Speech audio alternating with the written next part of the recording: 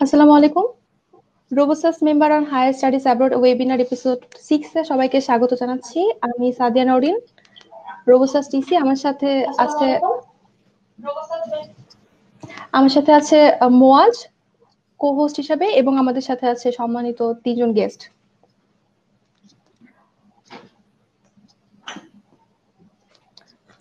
প্রথমে আমাদের সাথে আছে জাহিদ চৌধুরী ভাই উনি ছিলেন ত্রিপুলি থার্টিন ব্যাচ উনি এখন পিএইচডি করছেন কম্পিউটার সায়েন্সে Kansas state university Kansas USA থেকে।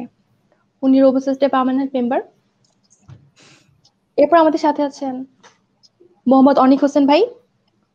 উনি ছিলেন triple E fourteen batch university of Alberta Edmonton কানাডাতে উনি আছেন।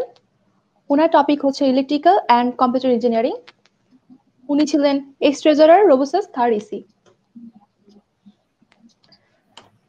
সবশেষে আমাদের সাথে আছে মুন্তাসির মাহাদি ভাই। উনিও ছিলেন ত্রিপুলি ফোরটিন ব্যাচ ওনার পিএইচডি ত্রিপুলিতে অবর ইউনিভার্সিটি আলবামা ইউএসএ উনি এক্স ভিপি রোবোসাস থার্ড ইসি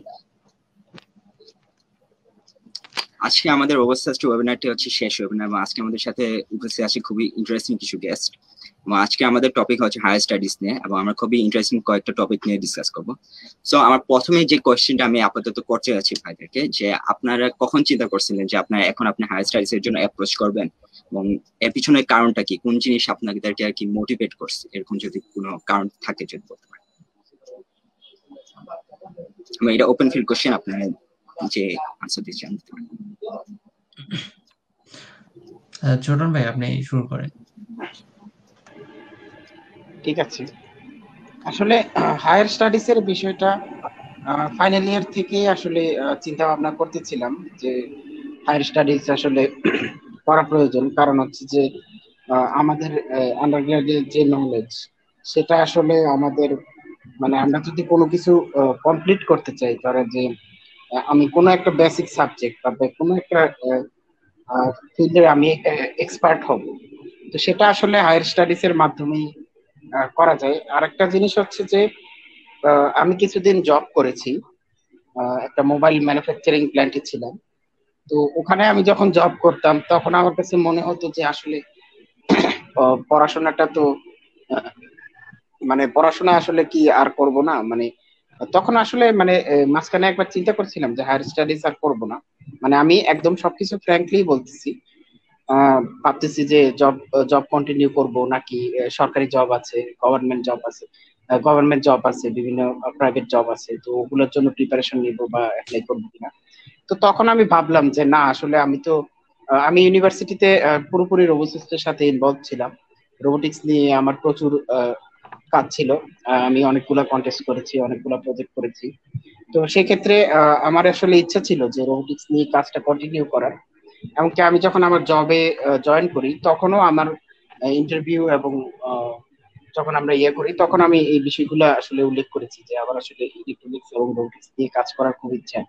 তো তখন আমি জবে ঢোকার পর দেখলাম আসলে ওখানে ওখানে হচ্ছে সরাসরি ধরো যে যে জিনিসটা হয় কাজ শেখার সুযোগ থাকে, কিন্তু আপনার মানে মানে একদম ডিপ নলেজ যেটা, আমরা যেটাতে রিসার্চ বেসড নলেজ বা রুট লেভেলের যে নলেজ সেগুলো আসলে ওখান থেকে সম্ভব না। যেমন আমরা আসলে ইন্ডাস্ট্রিয়াল আমি আসলে ইন্ডাস্ট্রিয়াল জবের কথা বলতেছি। ইন্ডাস্ট্রিয়াল জবের ক্ষেত্রে আমরা যেটা করি কোনো একটা মেশিন অপারেশন করি বা কোনো একটা প্ল্যান পরিচালনা করি। তো ওখানে একই কাজ আমরা বারবার করতেছি। বা হয়তো ডেভেলপমেন্ট হইলে বিষয়টা হচ্ছে যে ওয়ার্ল্ড ওয়াইড যখন ডেভেলপমেন্ট হয়, তখন আমাদের এখানে হয়তো ডেভেলপমেন্ট হয়। তো সেক্ষেত্রে আমি চিন্তা করতেছিলাম যে আসলে পড়াশোনা মানে একদম আমি ফ্র্যাঙ্কলি বলতেছি যে আসলে পড়াশোনাটা আরও কন্টিনিউ করা উচিত। কারণ হচ্ছে যে আমাদের যখন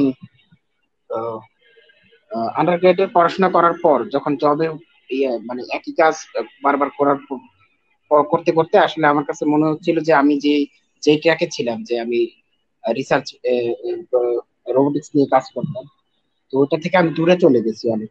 তো তখন তখন আমি হচ্ছে ডিসিশন নিয়ে নিয়েছি যে না, আমি আসলে এখন হায়ার স্টাডিজ এর দিকে যাব। এমনকি পরবর্তীতে আমি হায়ার স্টাডিজ এর জন্য অ্যাপ্লাই শুরু করি এবং পরবর্তীতে ইউএসএ তে ক্যান্সার স্টেট ইউনিভার্সিটিতে কম্পিউটার সায়েন্সে পিএইচডি করার জন্য রোবোটিক্স পিএইচডি করার জন্য ফান্ডিং পাই। তো সেখানে আমার টপিকস হচ্ছে robotics and automation in agricultural field so এই তো।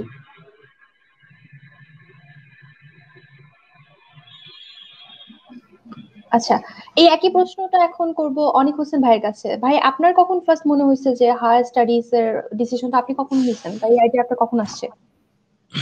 আচ্ছা আমাকে যদি কোশ্চেন করা হয়, আমি আসলে সঠিকভাবে বলতে পারব না যে আমি কোন সময় ডিসিশনটা নিছি যে আমি হচ্ছে হায়ার স্টাডি করব। বাট যদি বলতে হয়, হয়তো বা সেটা সেকেন্ড ইয়ার হবে আন্ডারগ্রেডে সেকেন্ড ইয়ার হবে, কারণ শুরুর দিকে একটু কেয়ার ফ্রি ছিলাম।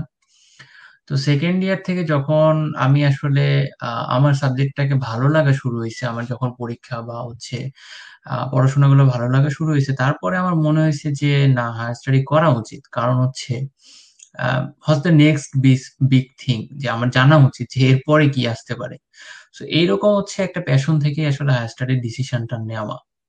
আর তারপরও যদি বলো যে, আমি অ্যাকচুয়ালি গ্রাজুয়েশনের আগে থেকে বা পরে থেকেই আমি চিন্তা করছি যে, আজ হোক, কাল হোক বা এক বছর, পাঁচ বছর পরে হোক, আমি যাব। যেভাবেই হোক, আমি যাব হায়ার স্টাডি করে আসব।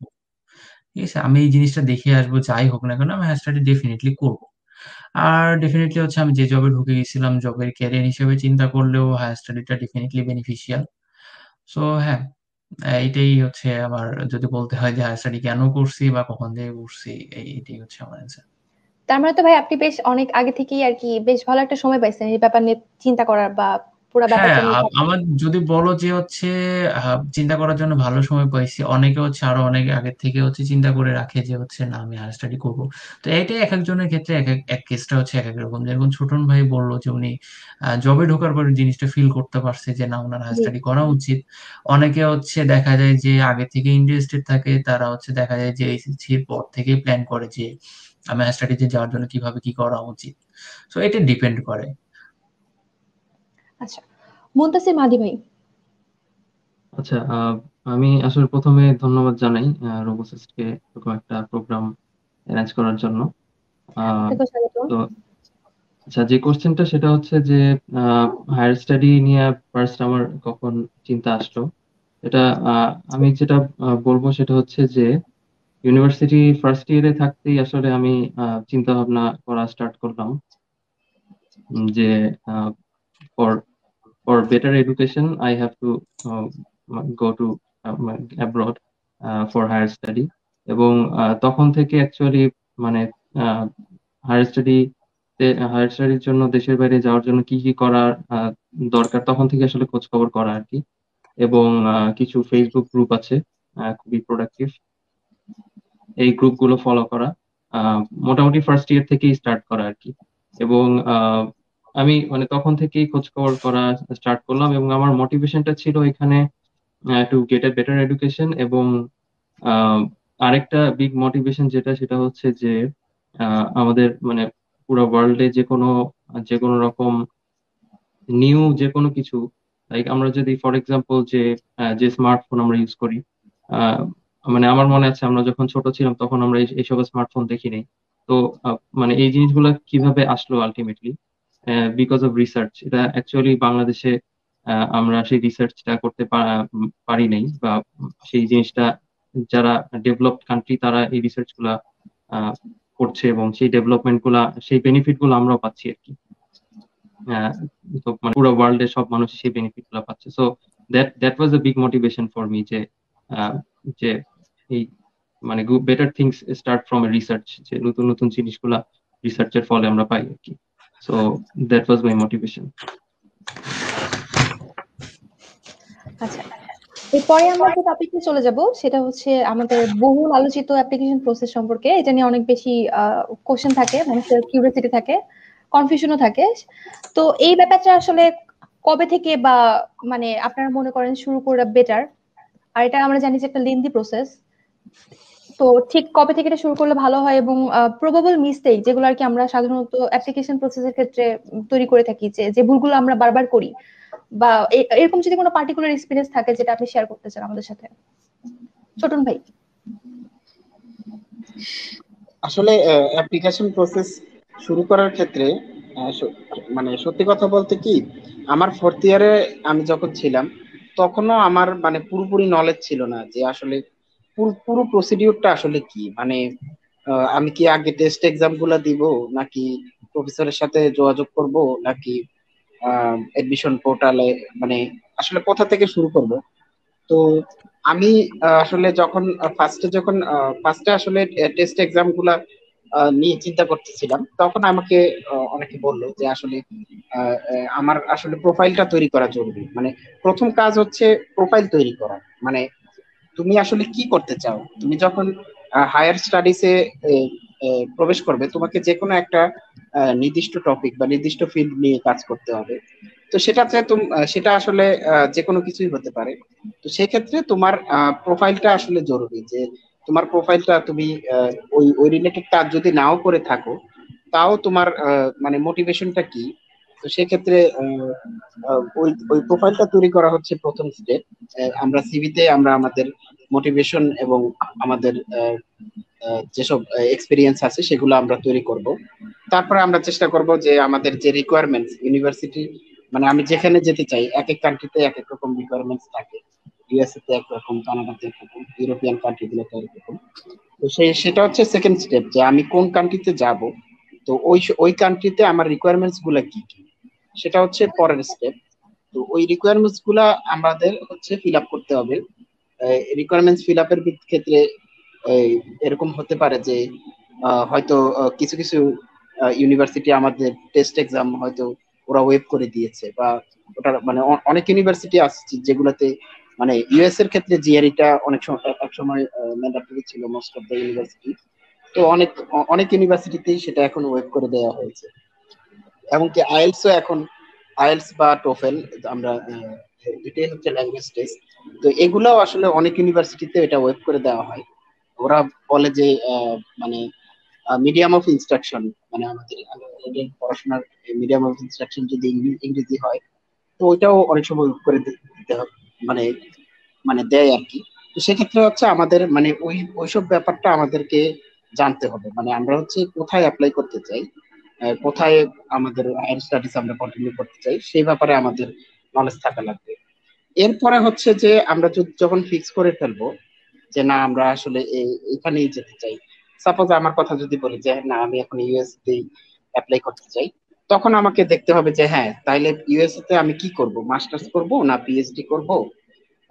নাকি অন্য কিছু করব? তো আমি যদি মাস্টার্স বা পিএইচডি করতে চাই, সেক্ষেত্রে অবশ্যই আমাকে একজন প্রফেসরের সাথে যোগাযোগ করতে হবে।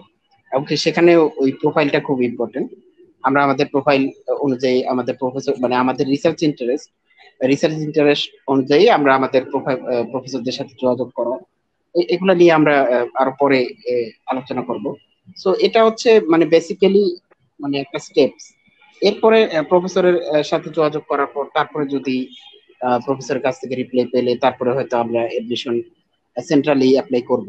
বা কিছু কিছু ক্ষেত্রে আমরা সেন্ট্রালিও অ্যাপ্লাই করতে পারি। তো সেক্ষেত্রেও আমাদের যোগাযোগ করে, করতে হবে যে আমি ইউনিভার্সিটিতে আমরা সেন্ট্রালি যদি অ্যাপ্লাই করি, কোনো প্রফেসরের সাথে যোগাযোগ না করে, তো সে, সেটাও করা যাবে কিনা? সেক্ষেত্রেও আমাদের এই জিনিসগুলো দেখা উচিত। রিসেন্টলি অনেক ইউনিভার্সিটিতেই সেন্ট্রালিও অ্যাপ্লাই করে, অনেকে অ্যাডমিশন এবং ফান্ডিং দুটোই পেয়েছে। তো এটা হচ্ছে এরপরে। তারপরের স্টেপগুলো আসলে পুরোপুরি অফিসিয়াল ওটা আসলে ওরকম ভাবে কিছু না ভিসা অ্যাপ্লিকেশন করা তারপর সবকিছু গোছানো এই তো।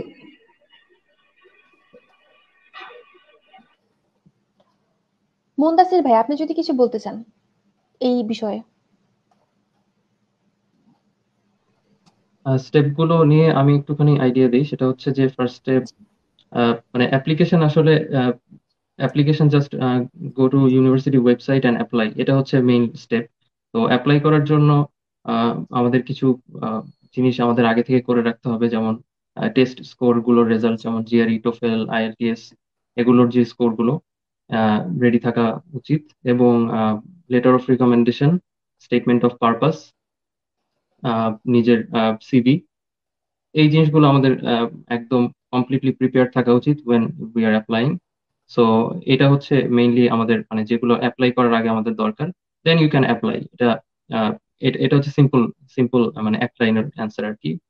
But if you want to want to go for for scholarship or like funded student হিসেবে যাওয়ার জন্য আমরা যেটা আর কি করি, সেটা হচ্ছে যে পটেনশিয়াল সুপারভাইজারদের সাথে আগে থেকে কন্ট্যাক্ট করা স্টার্ট করি যে উনি আমাকে সুপারভাইজ করতে চান কিনা বা তার সাথে মানে মানে একটা রিলেশনশিপ বিল্ড আপ করা আর কি সো দ্যাট দ্যাটস অ্যাকচুয়ালি মানে এরকম মানে ম্যান্ডেটরি না most of the cases but অনেক সময় এটা ইউনিভার্সিটি থেকে ম্যান্ডেটরি করা থাকে যে আগে থেকেই প্রফেসর বা সুপারভাইজার ঠিক করে দেন অ্যাপ্লাই করতে হবে। আই থিঙ্ক কানাডার কিছু ইউনিভার্সিটি এরকম আছে আর কি সো এই এই হচ্ছে বেসিক বেসিক স্টেপস আর কি যে এই আমাদের যে ডকুমেন্টগুলো রেডি করা দেন দেন অ্যাপ্লাই অ্যান্ড আগে থেকে প্রফেসর বা সুপারভাইজারের সাথে কন্ট্যাক্ট করা থাকলে that that's better to get funding আর কি.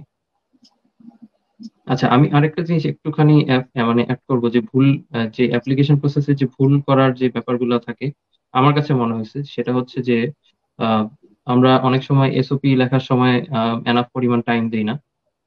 বাট আমার মনে হয় যে এসওপি তে এনাফ টাইম দেওয়া উচিত আর কি। কয়েক মাস ধরে এসওপি লেখা উচিত। রিফাইন করার জন্য।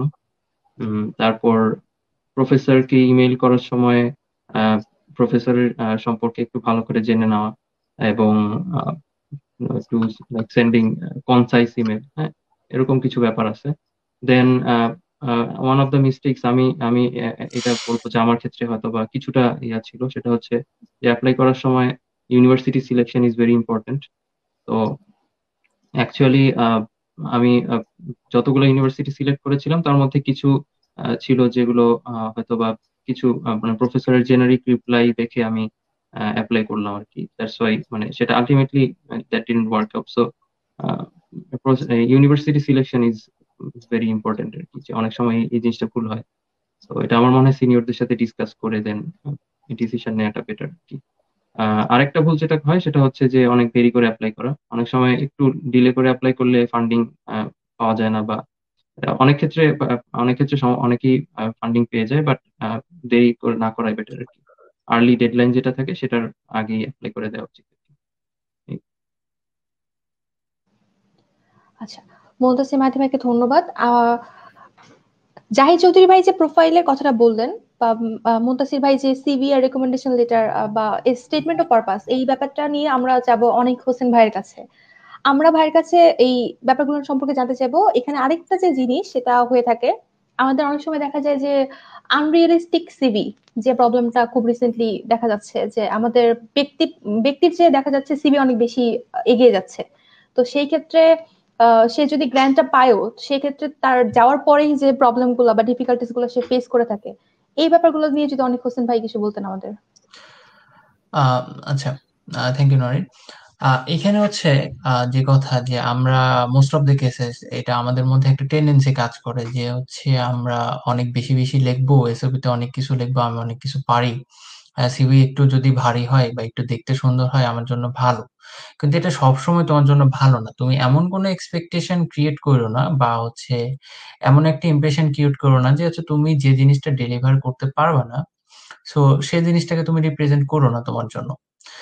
এটা যদি তুমি করো ডেফিনেটলি তুমি যখন একটা প্রফেসরকে অ্যাপ্রোচ করবে যে একটা পটেনশিয়াল সুপারভাইজার হিসাবে, তো ডেফিনেটলি তুমি তোমার এসওপি এবং হচ্ছে তার তোমার সিভি তুমি হচ্ছে সেন্ড করবে। তো উনি দেখে জাজ করে, তারপরে তুমি কি তার জন্য সুইটেবল কিনা এটা চিন্তা করে তোমাকে হচ্ছে বলবে যে হ্যাঁ ঠিক আছে, তুমি আমার আন্ডারে কাজ করতে পারো, আমি তোমাকে সুপারভাইজ করব। তুমি যখন হচ্ছে একটা এক্সপেকটেশন ক্রিয়েট করে ফেললা যে তুমি হচ্ছে এই লেভেলে ডেলিভার করতে পারবা, কিন্তু তুমি যখন আসলা একটা গ্রাজুয়েট স্টুডেন্ট হিসাবে তারপর উনি তোমাকে যখন কোনো কাজ দিক হোক বা তোমার পারফরমেন্স থেকে হোক, তুমি ও পরিমাণ ডেলিভার করতে পারতেছো না। তখন হচ্ছে খুব একটা আনরিয়েলিস্টিক একটা মানে এক্সপেকটেশন ক্রিয়েট হয়ে যায় বা একটা খুবই বাজে সিচুয়েশন ক্রিয়েট হয়ে যায়। এবং তার কাছে মনে হবে যে তুমি কিছুই পারো না। হ্যাঁ তুমি কিছুই করতে পারতেছো না, তোমাকে কাজ দিলে কোনো কাজ হচ্ছে না। আর তোমার কাছে মনে হবে কি যে তুমি তোমাকে হচ্ছে প্রফেসর অনেক বেশি প্রেসার দিচ্ছে, তোমাকে ডেডলাইন খুব স্ট্রিক্ট ডেডলাইন দিচ্ছে যেটা তোমার পক্ষে মিট করা সম্ভব হচ্ছে না। তো আমি সাজেস্ট করব যে হচ্ছে তোমরা এই জিনিসটা অ্যাভয়েড করো যে এমন কিছু তুমি রিপ্রেজেন্ট করো না যেটা তোমার প্রতি একটা ফলস এক্সপেকটেশন ক্রিয়েট করে বা অনেক হাই একটা এক্সপেকটেশন ক্রিয়েট করে যেটা তুমি ডেলিভার করতে পারবে না। ডেফিনেটলি ওইরকম জিনিস ডেলিভার করার মতো পার্সন আছে। সো তুমি তোমার লেভেল অনুযায়ী তুমি তোমাকে রিপ্রেজেন্ট করো এবং তুমি তোমার সুইটেবল প্রফেসর ডেফিনেটলি খুঁজে পাবা। এবং তোমার জন্য সুপারভাইজারের সাথে তোমার অ্যালাইনমেন্ট বলো বা অ্যাফিনেশন বলো, সেক্ষেত্রে ভালো মিলবে যদি তুমি তুমি তোমার ক্ষেত্রে থেকে অনেস্ট থাকো আর কি। আর তোমার প্রিভিয়াস কোশ্চেনে আমি একটা পয়েন্ট একটু ইয়ে করতাম যেহেতু মুন্তাসির এবং ছোটন ভাই হচ্ছে স্টেপ গুলাতে এমফেসাইজ করছে। তা মুন্তাসিরের একটা পয়েন্টটাকে হচ্ছে আমি একটু এমফেসাইজ করতে চাই সেটা হচ্ছে আমরা একটু দেরি করে ফেলি যে আমি প্রফেসরকে অ্যাপ্রোচ করা বা মেইলিং স্টার্ট করা হোক বা অ্যাপ্লিকেশন করা একটু দেরি করে ফেলি। এটার প্রাইম রিজন আমার কাছে মনে হয় যে আমরা আমাদের মাইন্ডসেটটা ঠিক করতে পারি না। জাস্ট আফটার গ্রাজুয়েশন আমাদের মাইন্ডসেটটা কি থাকে? যে আমরা কি হায়ার স্টাডি করব? আমি বলতে পারি মোটামুটি ভাবে বলতে পারি যে এইটটি পার্সেন্ট স্টুডেন্ট শুরুতেই চিন্তা করে আমি হায়ার স্টাডি করব। এই মোটিভেশনটা কতদিন থাকে হচ্ছে এটা এটা এটা হচ্ছে আমি বলতে পারি না। কারণ শুরুতে চিন্তা থাকে হায়ার স্টাডি করব। তারপরে চিন্তা করে যে না হচ্ছে আমি জব করব। জব ঢোকার জন্য হ্যাঁ তারপরে চিন্তা করে যে চাকরিতে যাওয়ার পরে যখন চিন্তা করে যে হচ্ছে জব হান্টিং এ যাওয়ার পরে না আমার ছোট চাকরি দিয়ে হবে না, আমি গভর্নমেন্ট জব লাগবে অর বিসিএস লাগবে। সো যখন এরকম হচ্ছে তুমি দৌড়াদৌড়ি করবে অনেকগুলো অপশনের মধ্যে, দেখবে কোনোটাই হচ্ছে না। তো তোমার যত তাড়াতাড়ি সম্ভব হচ্ছে মাইন্ডসেটটা ঠিক করে ফেলা উচিত। এখন আমি আমার পার্সোনাল এক্সপিরিয়েন্স বলি, সেটা হচ্ছে আমিও এই ধরনের কনফিউশনে পড়ছিলাম যে হচ্ছে আমি কি জব করব নাকি হচ্ছে হায়ার স্টাডি প্রিপারেশন নেব। কারণ সবকিছুর জন্য তোমার ইফোর্ট দিতে হবে। তুমি জবে যাও অর হায়ার স্টাডিতে যাও অর বিসিএস এ যাও, তুমি যেটাই করো না কেন তোমার যে কোনো কিছু অ্যাচিভ করার জন্য তোমাকে অনেক বেশি ইফোর্ট দিতে হবে। তো ইফোর্টটা হচ্ছে সময় মতো, জায়গা মতো ডেফিনেটলি দেওয়া উচিত। তা আমি যখন কনফিউশন ছিলাম তখন হচ্ছে এই ক্ষেত্রে আমি আমার প্যারেন্টসদের প্রতি একটু থ্যাঙ্কফুল আমি আমার আব্বুর সাথে ডিসকাশন করতেছি যে আমি কি করব, আমি আমি তো হচ্ছে ডিসিশন নিতে পারতেছি না। তো সে তখন হচ্ছে আমাকে একটা গল্প শোনাই দিল, সেটা হচ্ছে হার্নান কটেজের গল্প। তো হার্নান কটেজ হচ্ছে পনেরোশো উনিশ সালে যখন হচ্ছে একটা রিজিয়ন কনকার করতে যাই সে জাহাজ থেকে নামার পরে তার জাহাজ আগুন লাগিয়ে দিছে। তা আগুন লাগিয়ে দিছে কেন? কারণ হচ্ছে তার সোল্ডারকে বলছে যে আমি জাহাজ পুরাই দিছি, তুমি এখন হচ্ছে হয় যুদ্ধ করে কনকোয়ার করো অর তোমার হচ্ছে ডেট তুমি রিটার্ন করার কোনো অপশন নেই। তো আমার মনে হয় এই জিনিসটা আমাকে খুবই হেল্প করছে মাইন্ডসেট ফিক্স করার জন্য যে তুমি তোমার জাহাজগুলো পড়ায় দাও। ঠিক আছে? তুমি একটা অপশন ফিক্স করে বাকি অপশন বাদ দিয়ে দাও। তোমাকে হয় করতে হবে না হলে মরতে হবে। এবং এ ধরনের মাইন্ডসেট যখন ক্রিয়েট হয়ে যাবা, তখন দেখবা যে তুমি ডেফিনেটলি টাইম মতো সব কাজই করতেছো। হ্যাঁ তোমার জিএরি পড়তেও প্যারা লাগতেছে না এত কঠিন অঙ্ক করতেও প্যারা লাগতেছে না। ইংলিশ শিখতেও প্যারা লাগতেছে না। যদি তুমি চিন্তা করো যে হচ্ছে আমি যাবই যাব ডেফিনেটলি যাব এবং আমার কোনো অপশন নাই। তার মানে আপনি বলতে চাচ্ছেন যে ডু অর ডাই সিচুয়েশন আমাদের অনেক হেল্প করতে পারে এইসব ক্ষেত্রে? ডু অর ডাই সিচুয়েশন আমাদের অনেক হেল্প করতে পারে। কারণ কনফিউশন মানে তোমার টাইম ওয়েস্ট টাইম ওয়েস্ট মানে হচ্ছে তোমার অপরচুনিটি ওয়েস্ট আচ্ছা পরের প্রশ্নটা করবে মোয়াজ। ভাই রেসপন্সটা ছিল খুবই গ্লুমি ছিল সো আমার নেক্সট কোয়েশ্চেনটা এরকম হবে। ভাই যতবারে আর কি মানে প্রফেসরদের অ্যাপ্রোচ করার সময় ইমেল করা হয় একটা তো রিজেকশন খাওয়াই হয়। মানে এই হ্যাঁ। জিনিসগুলো আর কি আপনারা হ্যান্ডেল করছেন কীভাবে আর কি? এটা আর কি আমার একটা কোয়েশ্চেন ওপেন ফর আপনি যে বলতে চান। আমার গেস আমি বলি যেহেতু ছোটন ভাই যোগ করেছে, তা আমি বলি। সেটা হচ্ছে রিজেকশন হ্যান্ডেল করা ডেফিনেটলি টাফ সব সব kind of rejection definitely tough ঠিক আছে? তো আমার কেসে হচ্ছে মোস্ট অফ দ্য কেসে হচ্ছে, আমি প্রফেসরের কাছে রিপ্লাই পাই না। হ্যাঁ রিপ্লাই পাই নাই বা হচ্ছে বলছে যে আমি নিতে পারতেছি না তোমাকে। So rejection handle definitely tough এক্ষেত্রে তোমার হচ্ছে আশেপাশে মানুষজন খুবই হেল্প করতে পারবে। তোমার কলিগ হোক, তুমি যদি জবে থাকো, তোমার কলিগ হোক বা ফ্রেন্ডসরাও খুবই হেল্প করতে পারে। তুমি একটু আড্ডা দাও। একটু ইয়ে করো, কথাগুলো ওপেনলি ডিসকাস করো যে, আরে, আমাকে তো রিজেকশন চলে আসছে। এই জিনিসগুলো ডিসকাশন করো। নিজেদের মধ্যে ডিসকাশন করলে দেখবা যে, হচ্ছে রিজেকশন হ্যান্ডেল করাটা একটু বেটার হয়। হ্যাঁ তারাও তোমার ফ্রেন্ডরা তোমাকে মোটিভেশন দিবে, আরে, ব্যাপার না। আরও মেলিং করো, আরও ই করো, চেষ্টা করতে থাকো, হয়ে যাবে হয়ে যাবে। ডেফিনেটলি হয়ে যায়। আমি আসলে খুব কম মানুষকে দেখছি যে দেরি হইতে, বা হয় নাই এমন খুব কমই দেখছি যারা চেষ্টা করছে। তো, হবে না বলে কোনো কথা নেই আসলে। মুনতাসিম মাহিদি ভাই আপনি কিছু বলবেন এই নিয়ে? ইমেইলের কথাটা আমি একটু বলি সেটা হচ্ছে যে আমি around one forty professor from different universities ওনাদেরকে ইমেল করছিলাম। তো আমি তাদের থেকে অ্যারাউন্ড অ্যারাউন্ড চল্লিশ জনের কাছ থেকে আমি রিপ্লাই পাইছি। মিক্সড আর কি পজিটিভ সেমি পজিটিভ আর নেগেটিভ সব মিলে আর কি চল্লিশ জনের কাছ থেকে রিপ্লাই পাইছি। তাদের মধ্যে ষোলো জনের মতো ছিল যারা যারা মানে জেনেরিক অথবা অথবা মানে কিছুটা পজিটিভ রিপ্লাই দিছে আর কি। এবং সেখান থেকে চার চারটা চারজনের কাছ থেকে আমি ইন্টারভিউ মানে চারজনের, চারটা জায়গায় ইন্টারভিউ দেওয়ার সুযোগ পাইছি আর কি টোটাল তো দেয়ার সো মেনি কেসেস যেখানে যেখানে প্রফেসর হয়তো রিপ্লাই দিচ্ছেন যে আমাদের এখন পজিশন ওপেন নাই এখন পজিশন ওপেন নাই, তুমি মানে এখন আমরা এখন নিতে পারতেছি না আমাদের এখানে। তারপরে হয়তো প্রফেসর বলছেন যে, আমরা এই টার্মে আমাদের খালি নেই, তুমি পরের নেক্সট সেমিস্টারে তুমি কন্ট্যাক্ট করো। এরকম। অথবা প্রফেসর মোস্টলি হয়তো রিপ্লাই দিচ্ছেন না। হ্যাঁ এরকম। সো সাধারণত যেটা করা উচিত সেটা হচ্ছে যে প্রফেসর অনেক সময় হয়তো রিপ্লাই দিবেন না ব্যস্ততার কারণে। তো প্রফেসরকে একটা ফিডব্যাক ইমেল দেওয়া যেতে পারে অথবা চার, পাঁচ দিন পর। যে যে হয়তোবা মানে আপনার হয়তো বিজি স্কেজুলের কারণে ইমেল ইমেলটা মানে আমি আপনাকে রিচ করতে পারি নাই। So can you please check এরকম আর কি? এবং এবং আই আই উড সাজেস্ট যে, এটা সবসময় কনসাইজ হওয়া উচিত আর কি ইমেল ইমেলগুলো অনেকে অনেক ডেসক্রিপটিভ ইমেল করেন বাট এটা করা আমার মনে হয় যে, এটা লজিক্যাল না আর কি।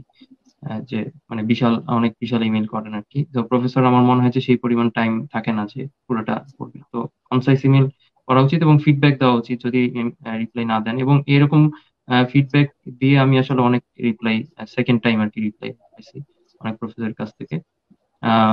এবং অ্যাকচুয়ালি প্রফেসরদের সাথে কন্ট্যাক্ট রাখা উচিত এটাই আর কি। এবং রিজেকশনের ব্যাপারগুলা প্রফেসররা তো অনেক সময় বল বলবেন যে আমার পজিশন খালি নাই অ্যান্ড অ্যাপ্লাই করার পরে অনেক সময় রিজেক্ট রিজেক্টেড হইতে পারে।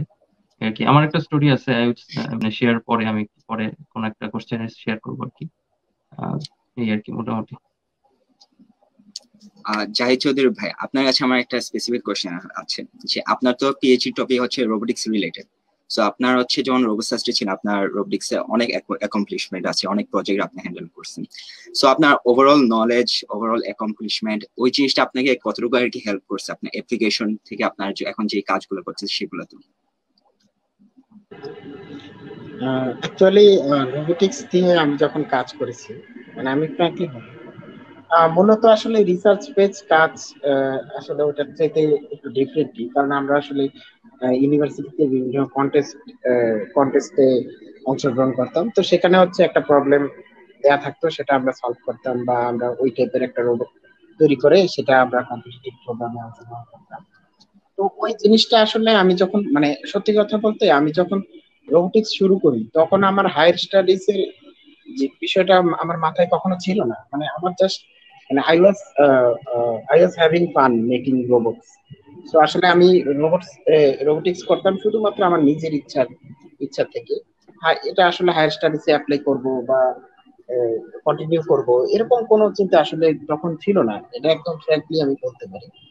তো পরবর্তীতে আমার যখন বিভিন্ন রোবোটিক্স কন্টেস্টে এবং বিভিন্ন ইলেকট্রিক্যাল ইলেকট্রনিক্স প্রজেক্ট তারপর ডিপার্টমেন্টাল প্রজেক্ট এগুলো করার পর, তারপরে আমার কাছে মনে হলো যে হ্যাঁ আমি মানে তখন তখন আমি জিনিসটা জানতাম না যে আমি আসলে রোবোটিক্স নিয়ে কীভাবে আমার ক্যারিয়ার পরবর্তীতে আমি কন্টিনিউ করব বা আদৌ করতে পারব কিনা। সে ব্যাপারে আমার শুরুর দিকে তেমন কোনো আইডিয়া ছিল না। কিন্তু পরবর্তীতে আমি যখন ফাইনাল ইয়ারে উঠি দেখলাম যে এটা নিয়ে প্রচুর রিসার্চ হয়। এমনকি স্টুডেন্টরা মানে এটা নিয়ে প্রচুর রিসার্চ করে এবং অনেক অনেক ইউনিভার্সিটি আছে যারা সরাসরি রোবোটিক্স রিলেটেড কাজ করে এবং ওই রিলেটেড প্রচুর ফান্ড ফান্ডিং আছে, প্রচুর প্রফেসরদের কাছে। তো সে তখন আমি যখন আমার প্রফেসরকে আমি যখন ফার্স্টে যখন ইমেল করি যে আমি রোবোটিক্স নিয়ে এই কাজ করেছি প্রফেসর আমাকে তখন প্রশ্ন করেছিল যে দেখো তুমি তো কাজ করেছ মানে আমি মেনলি হচ্ছে রোবোটিক্স পাথ প্ল্যানিং এবং অটোমেশন এই দুইটার উপর ফোকাস ছিল। তখন বলছে যে অটোমেশনের কাজ যদি তুমি করে থাকো আমার এখানে প্রজেক্ট আছে, তুমি কি এটা করতে পারবে কিনা? তা আমি বলেছি যে, ঠিক আছে, আমি করতে পারব, কোনো সমস্যা নেই। তো তখন উনি আমাকে ওনার একটা কনফারেন্স পেপার দিয়েছেন। তো তারপর দেওয়ার পর উনি বলেছেন যে, এটা তুমি কনফারেন্স পেপার পড়ে আমাকে একটা প্রেজেন্টেশন দাও। তো তারপরে হচ্ছে যে, ওইটা পড়ার পর আমার কাছে মনে হলো যে yes I can do it and also actually this was my motivation মানে আমি চাচ্ছিলাম যে রোবোটিক্স রিলেটেড ক্যারিয়ার মানে রোবোটিক্স রিলেটেড রিসার্চ এবং হায়ার স্টাডিজ কন্টিনিউ করার জন্য। তো সেই জন্য হচ্ছে যে আমি যখন কনফারেন্স পেপারটা পড়লাম, তখন আমার কাছে মনে হলো যে, আসলে yes I can do it then আমি আসলে একটা প্রেজেন্টেশন দিই। তারপর প্রফেসর আমার প্রেজেন্টেশনে অনেক অনেক হ্যাপি হয়। তারপরে উনি বলে যে, তুমি সেন্ট্রালি অ্যাপ্লাই করো এবং আমার সাথে কাজ করো। তো তখন তখন না, কিছুদিন পরে আমি নিজে একটা আমি প্রশ্ন করেছিলাম যে প্রফেসরকে যে, আসলে আমি তো কাজ করেছি প্রজেক্ট বেস এখন রিসার্চ বেস কাজটা আসলে কীরকম ডিফারেন্ট হবে? তো উনি বলেছে যে, তোমার আসলে যে বেসিক অ্যালগোরিদম মানে মত যে প্রশ্ন করেছে যে আমাদের এই এই প্রজেক্টের কাজটা রিসার্চে কতটুকু হেল্পফুল তো সেক্ষেত্রে আমি আসলে বলব যে আমাদের যে বেসিক জিনিসটা রোবোটিক্সের যে বেসিক আমাদের প্রোগ্রামিং তারপরে হচ্ছে ইলেকট্রিক্যাল সার্কিটস এবং আমাদের যে মাইক্রো কন্ট্রোলার এগুলো সম্পর্কে একটা বেসিক নলেজ যদি আমরা আমরা এই এই রোবোটিক্স প্রজেক্ট এবং কন্টেস্টগুলা করার মাধ্যমে আমরা পেয়ে থাকি, তো সেটা হচ্ছে আমাদের স্টার্টিং আমরা এখান থেকে আমরা যে কোনো কিছু যে কোনো দিকেই আমরা মুভ করতে পারি। রোবোটিক্স এর ভিতরেও আমাদের বিভিন্ন ধরনের ব্রাঞ্চ আছে। অনেকে আছে যে শুধুমাত্র প্রোগ্রামিং এবং অ্যালগোরিদম নিয়ে কাজ করে। অনেকে আছে রোবোটিক্স ভিশন ইমেজ প্রসেসিং এগুলো নিয়ে কাজ করে।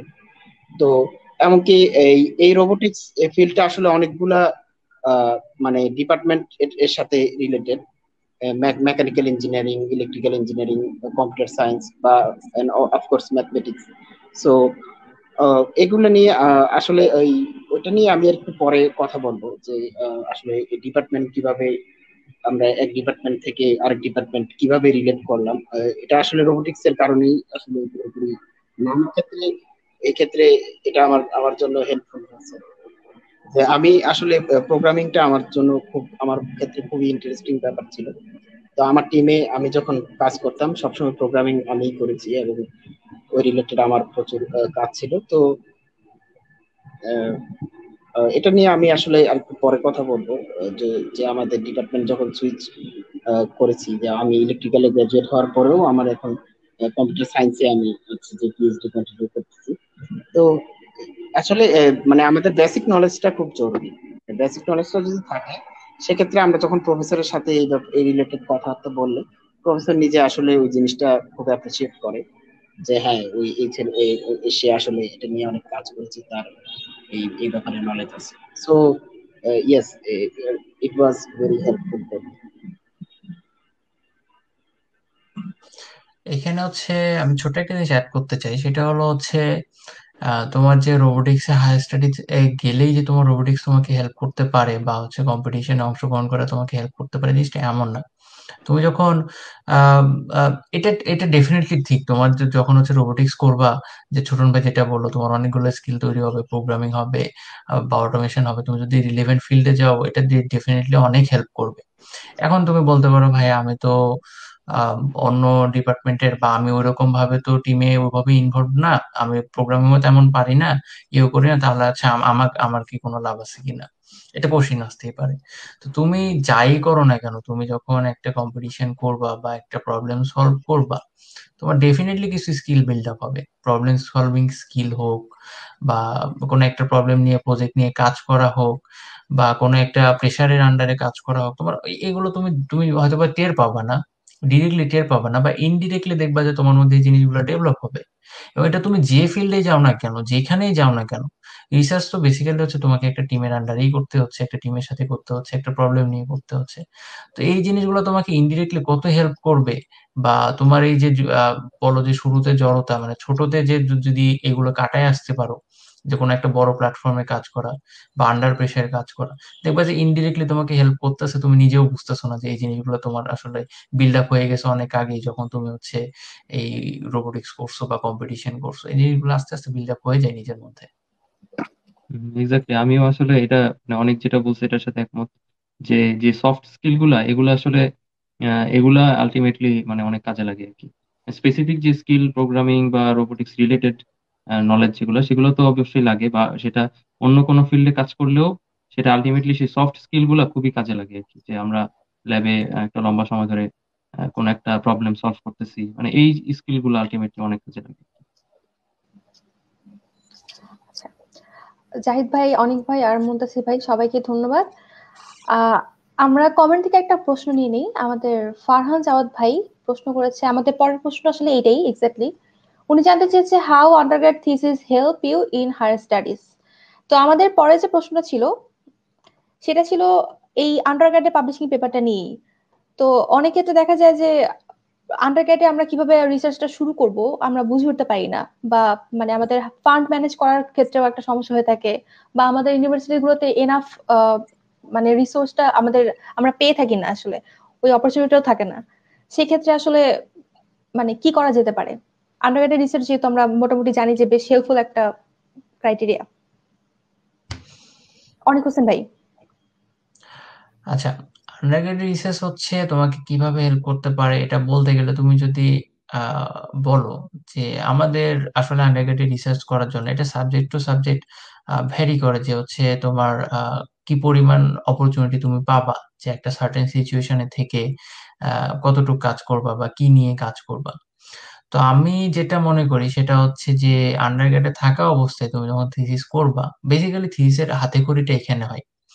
তোমার কাছ থেকে খুব বেশি কেউ এক্সপেক্ট করে না যে তুমি হচ্ছে আন্ডারগ্রেডের থিসিস থেকে অনেক বেশি কিছু অ্যাচিভ করে ফেলবা। বা হচ্ছে তুমি বড় ধরনের কোনো একটা ফাইন্ডিংস তুমি প্রোভাইড করবা। এটা আসলে কেউ তোমার কাছে এক্সপেক্ট করে না। বাট তুমি হচ্ছে এখানে যে জিনিসটা শিখো সেটা হচ্ছে তুমি একটা রিসার্চ মেথোডোলজি শিখো। হ্যাঁ একটা জিনিসকে তুমি কীভাবে রিপ্রেজেন্ট করতে হয় তোমার কাজটাকে, সেটা শিখো ডকুমেন্টেশন শিখো। বেসিক্যালি হচ্ছে হাতে ঘড়িটা হয়। আর তোমার আমি যেটা মনে করি বা আমার ক্ষেত্রে হয়েছে যে আন্ডারগ্রেডের রিসার্চের সময় বা হচ্ছে থিসিসের সময় আমি আসলে বুঝতে পারছি যে আমার কোন জিনিসটা ভালো লাগে।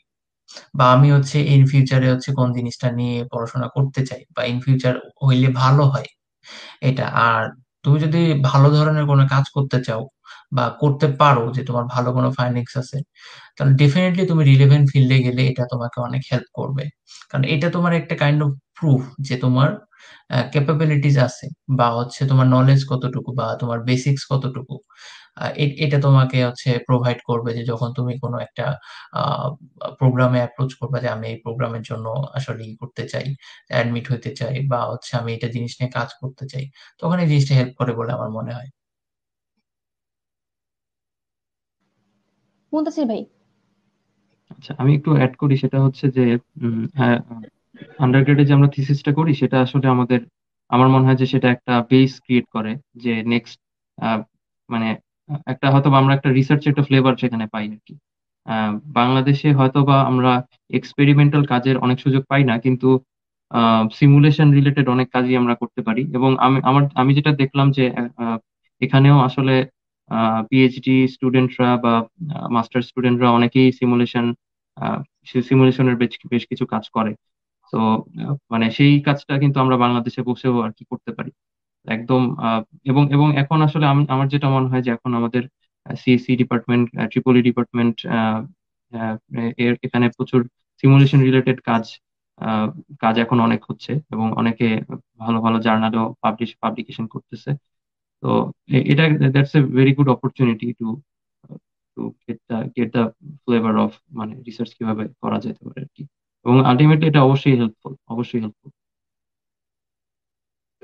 হ্যাঁ আসলে এটা আসলে মানে মুন্তাসিরের সাথে আমি একমত যে আমাদের হয়তো ওরকম আন্ডারগ্রেড থিসিস করার করার জন্য আমাদের হয়তো ল্যাব ইকুইপমেন্ট বা হয়তো ইনস্ট্রুমেন্ট এগুলো হয়তো আমাদের ওরকম হয়তো খুব একটা সুযোগ আমরা পাই না। বাট সিমুলেশন বেস কাজ আমাদের দেশে এখন বর্তমানে অনেক হচ্ছে। তো সেগুলো ডেফিনেটলি অনেক হেল্পফুল আরেকটা জিনিস আমি অ্যাড করতে চাই সেটা হচ্ছে যে থিসিসের আমরা যখন আন্ডারগ্রেড থিসিস করি, ওই অনেক যেটা বলল যে আসলে অনেক সফট স্কিল কিন্তু আমাদের মধ্যে চলে আসে। যেমন আমাদের একটা ডেডলাইন থাকে যে আমাদের ডিফেন্সের একটা ডেডলাইন থাকে। তারপর আমরা যদি আমাদের থিসিসের কাজ দিয়ে আমরা যদি কোনো পাবলিকেশন করতে চাই, তাহলে সেগুলোর ক্ষেত্রে আমাদের একটা ডেডলাইন থাকবে। তারপরে আমাদের মানে পেপার পেপার লেখা বা আমাদের কাজটাকে রিপ্রেজেন্টেশন করা প্রেজেন্টেশন দেওয়া, এই স্কিলগুলো কিন্তু আমাদের মানে খুবই ভাইটাল মানে এগুলো আমাদের খুবই জরুরি হায়ার স্টাডিজ এর জন্য। তো সেগুলো আসলে আমার, আমরা আসলে আন্ডারগ্রেডের যে থিসিস সেখান থেকে মানে subject related skill technical skill তো আছেই। এর পাশাপাশিও এই স্কিলগুলো কিন্তু আমরা আন্ডারগ্রেড থেকে সহজেই পেয়ে আসতে পারি। তো আমরা এমনকি পেয়ে থাকি। তো এই এই জিনিসগুলো আসলে খুবই হেল্প তো এখন পোস্ট গ্রাজুয়েশনে আমরা যখন এই এই কাজগুলো করব, তখন আমাদের মানে এটা নিজে নিজেই আসলে হয়ে যায়। ওই অনেক যেটা বলল যে আমাদের মানে নিজে নিজেই মানে ওয়ার্ক আন্ডার প্রেশার অথবা ডেডলাইনের মধ্যে কাজ করা। তো সেই জিনিসগুলো আমরা আসলে যদি আন্ডারগ্রেডে বিভিন্ন প্রজেক্ট করা বা থিসিস করা, এগুলোর মাধ্যমে আমরা আসলে ওই স্কিলগুলো আমরা তখনই ডেভেলপ করতে পারি।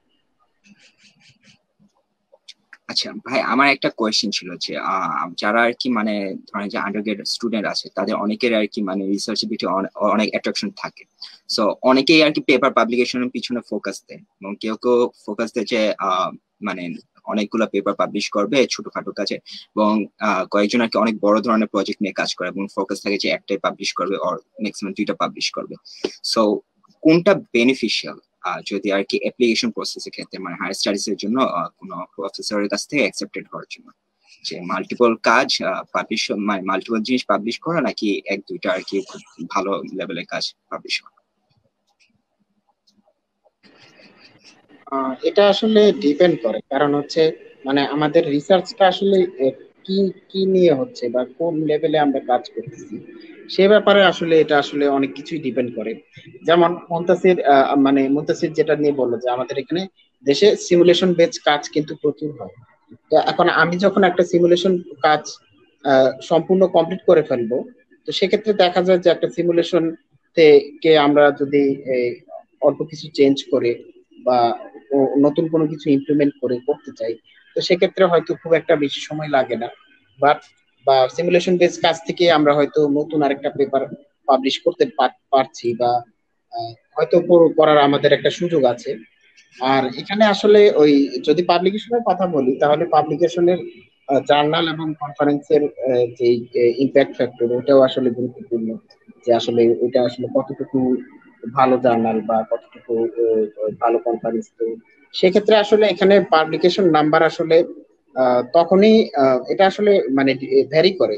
অনেকের ক্ষেত্রে হয়তো একটা পাবলিকেশন খুব ভালো একটা জার্নাল বা খুব ভালো একটা কনফারেন্স তার ওটাতেই আসলে মানে ওটাই আসলে ওর জন্য এনাফ বাট অনেক, অনেকে কিন্তু চাইলে সিমুলেশন বেস পাস যেগুলো বা ধরো অন্য অন্য, অন্যান্য ক্ষেত্রেও, সে কিন্তু চাইলে কিন্তু তার আরও, সে চাইলে তার কাজটাকে আরও সে বাড়াতে পারে বা আরও পাবলিকেশন করতে পারে। তো এটাতে আসলে ওরকম কোনো ভুল আমি আসলে মানে ওরকম কোনো লিমিটেশন আসলে এখানে নেই। তো আমাদের অ্যাটলিস্ট মানে আমরা সবসময় এনকারেজ করব যে মানে আন্ডারগ্রেডে আমরা যে কাজটা করব, সেটা যেন মানে আমরা পাবলিশ করতে পারি। এটা আমাদের অ্যাপ্রোচ হওয়া উচিত রিলেটেড একটা জিনিস আমি একটু শেয়ার করি, সেটা হচ্ছে যে যে এখানে মানে কোশ্চেনটা ছিল যে রিসার্চ পেপার সেটা সেটা কি আমাদের উচিত নোবেলটি বেশি মানে গুরুত্ব দেওয়া নাকি নাম্বার অফ পেপারস আমরা বেশি গুরুত্ব দিব? তো আমার একটা এক্সপিরিয়েন্স আছে, সেটা হচ্ছে যে কোনো একটা ইন্টারভিউতে আমাকে বলা হয়েছিল যে যে মানে যেই পেপার গুলাই আছে সেগুলোর সেগুলো একটা কমিটি আছে কমিটি দে উইল ডিসাইড যেগুলোর নোবেলটি কি মানে কতটুকু আছে এবং তারা আসলে পেপারগুলা গো থ্রু করবে যে আসলে সেগুলো কতটুকু স্কলারলি আর কি। সো আসলে আমার কাছে মনে হয় যে র্যান্ডম জার্নাল অথবা র্যান্ডম কনফারেন্স পাবলিকেশন মানে নাম্বার অফ পাবলিকেশন বাড়ানো হচ্ছে মানে নোভেল কাজ হওয়াটা বা মানে better better journal better impact factor জার্নালে পাবলিশ করা এবং ভালো মানে বেটার কাজ করাটা আর কি, কাজ পাবলিকেশন করাটা আর কি বেটার আর কি। আমি মুন্তাসিরের সাথে এখানে হচ্ছে আমি কমপ্লিটলি অ্যাগ্রি করি এই ব্যাপারটাতে যে তুমি যেই পাবলিকেশনই করো না কেন যতগুলো নাম্বারই করো না কেন যে ছোটন ভাই যেটা বলল যে দেখা যায় যে কিছু কিছু টাইপের ওয়ার্ক থেকে অনেক বেশি আউটপুট আনা সম্ভব হয় খুব অল্প সময়ের মধ্যে। তুমি হ্যাঁ, তুমি অনেক পাবলিকেশন করতে পারো এটা তোমার ইচ্ছা বাট তুমি যে পাবলিকেশনে করো না কেন মুতাসির যেটা বলল সেটা যেন নোভেলটি ডেফিনেটলি থাকে এটা যেন স্কলারলি হয়। হ্যাঁ তোমার ইম্প্যাক্টফুল যাতে হয়। এবং পাবলিকেশন প্লেস চয়েসের ক্ষেত্রে আমার মনে হয় তুমি যত বেশি অ্যাম্বিশিয়াস হবা, তত বেটার তো তুমি যখন বেশি অ্যাম্বিশন নিবা যে আমি একটা হাই ইম্প্যাক্ট ফ্যাক্টরে কোনো একটা জায়গায় পাবলিশ করতে চাই, তখন দেখবা যে তুমি খুব সহজে ছোটখাটো জিনিস দিয়ে পাবলিশ করতে পারতেছো না অ্যাকসেপ্টেড হচ্ছে না। তখন দেখবা ডেফিনেটলি তোমার ওয়ার্কের কোয়ালিটি মানে ইমপ্রুভ হবে। মানে বেটার কোয়ালিটির পাবলিকেশন আসবে তোমার কাছ থেকে যখন তুমি অ্যাম্বিশিয়াস হবা। যে ছোটখাটো জায়গায় অল্প কাজ দিয়ে পাবলিশ করার চাইতে একটু সময় নিয়ে সেই কাজটাকে আরেকটু ডেভেলপ করে সেম কাজটাকে আরেকটু ডেভেলপ করে, আরেকটু নোভেলটি এনে এবং এটা খুব বেটার কোয়ালিটির একটা পাবলিকেশন খুবই হেল্পফুল হয়। এবং তুমি যখন লো কোয়ালিটির কোনো পাবলিকেশন একটা পেটে তোমার মনে করো দশটা পেপার আছে সাপোজ তোমার সেখানে একটা খুবই ইম্প্যাক্টফুল পেপার বাকিগুলাতে দেখা গেল দুই একটাতে তোমার হচ্ছে দেখলেই বোঝা যাচ্ছে যে তুমি এটাতে ইফোর্ট দাও নাই বা হচ্ছে তুমি নাম্বারটাতে ফোকাস করছ। তখন দেখা যায় যে জিনিসটা তোমার ক্ষেত্রে পজিটিভলি হেল্প না করে দেখা যায় যে একটা নেগেটিভ ইমপ্রেশন ক্রিয়েট করে যে এটা তো এটাই আর কি। বুঝতে পারছি। আচ্ছা অনেক হোসেন ভাইকে ধন্যবাদ। আমরা কমেন্ট থেকে আমাদের বেশ কয়েকটা কমেন্ট আসছে, আমরা কিছু প্রশ্ন নিয়ে নিই। মারুফ মারুফ ভাই প্রশ্ন করেছে I have a question for Chhoton ভাই he has experience in working for Walton how much advantage does a masters or PhD degree give in the job market specially in Bangladesh Chhoton ভাই। Actually job market বলতে main কথা হলো যেহেতু সে ওয়ালটনের কথা mention করেছে, তো আমি ধরে নিব এটা আসলে ইন্ডাস্ট্রিয়াল বেস্ট জব কারণ যদি একাডেমিকের কথা বলি ডেফিনেটলি একাডেমিক লাইনে যদি কেউ যায়, তাহলে সেক্ষেত্রে তো অবশ্যই তাকে মাস্টার্স পিএইচডি তার জন্য খুবই হেল্পফুল বাট আমি ইন্ডাস্ট্রি ইন্ডাস্ট্রি বেস জবের ক্ষেত্রে আমি যদি বলি, তাহলে বাংলাদেশের ক্ষেত্রে আসলে মাস্টার্স আসলে অনেক ক্ষেত্রেই হেল্পফুল অনেক ইন্ডাস্ট্রিতেই আমি দেখেছি যে মাস্টার্স যারা করে থাকে বা যাদের মানে মাস্টার্স এমনকি অনেক কোম্পানি থেকে মাস্টার্স করার জন্য এনকারেজও করা হয়। এমনকি এমনকি আমি আমি আমি আমি একজন বড় ভাইকে চিনি, যিনি একটা ম্যানুফ্যাকচারিং কোম্পানিতে ছিলেন। উনি পরে কোম্পানি থেকেও লিভ পেয়েছেন নর্মালি হচ্ছে লিভ আসলে সবাইকে দেওয়া হয় না বা হয়তো জব ছেড়ে তারপর মাস্টার্স করা লাগে। এরকম সিচুয়েশনটাই হয়। বাট পিএইচডির ক্ষেত্রে এখন আসলে ওরকম ওরকম কালচার এখনও আমাদের দেশে আসলে তৈরি হয়নি। আসলে এত লং টাইম কেউ যদি পিএইচডি করে এসে জয়েন করবে বা মানে আমাদের কান্ট্রিতে কোনো একটা ফ্যাক্টরিতে এসে একজন পিএইচডি ডিগ্রিধারী যদি জয়েন করতে চায় মানে হয়তো থাকতে পারে। বাট আমার আমার নলেজ অনুযায়ী আসলে মাস্টার্সটা অনেকটাই হেল্পফুল বাট পিএইচডির ক্ষেত্রে আমি এখনও দেখিনি। হয়তো থাকতে পারে বাট আসলে বিষয়টা হচ্ছে যে আমরা তখন ইয়ে করি মানে ইন্ডাস্ট্রিতে যখন কাজ করি ইন্ডাস্ট্রি বেস কাজগুলো আসলে অনেক বাইরের দেশে যেটা হয় ইন্ডাস্ট্রির বিভিন্ন ধরনের রিসার্চগুলা প্রফেসরদের মাধ্যমেই করা হয়। মানে আমাদের বিভিন্ন কোম্পানি যেমন ইন্টেল বা ধরেন যে বড় বড় যেসব কোম্পানি আছে, তারা গুগল তারা হচ্ছে প্রফেসরদেরকে বিভিন্ন ধরনের ফান্ড প্রোভাইড করে। তারা তাদের কোম্পানি ডেভেলপমেন্ট ইউনিভার্সিটিতে তাদের প্রফেসরদের মাধ্যমে করে থাকে। এরকম অনেক অনেক অনেক অনেক কোম্পানি আছে। কিন্তু আমাদের দেশে আসলে ওরকম ওরকম আসলে মানে আমাদের সেরকম কালচার এখনও তৈরি হয়নি। বাট ইয়েস মাস্টার্সটা আসলে খুবই জরুরি। তো এটাই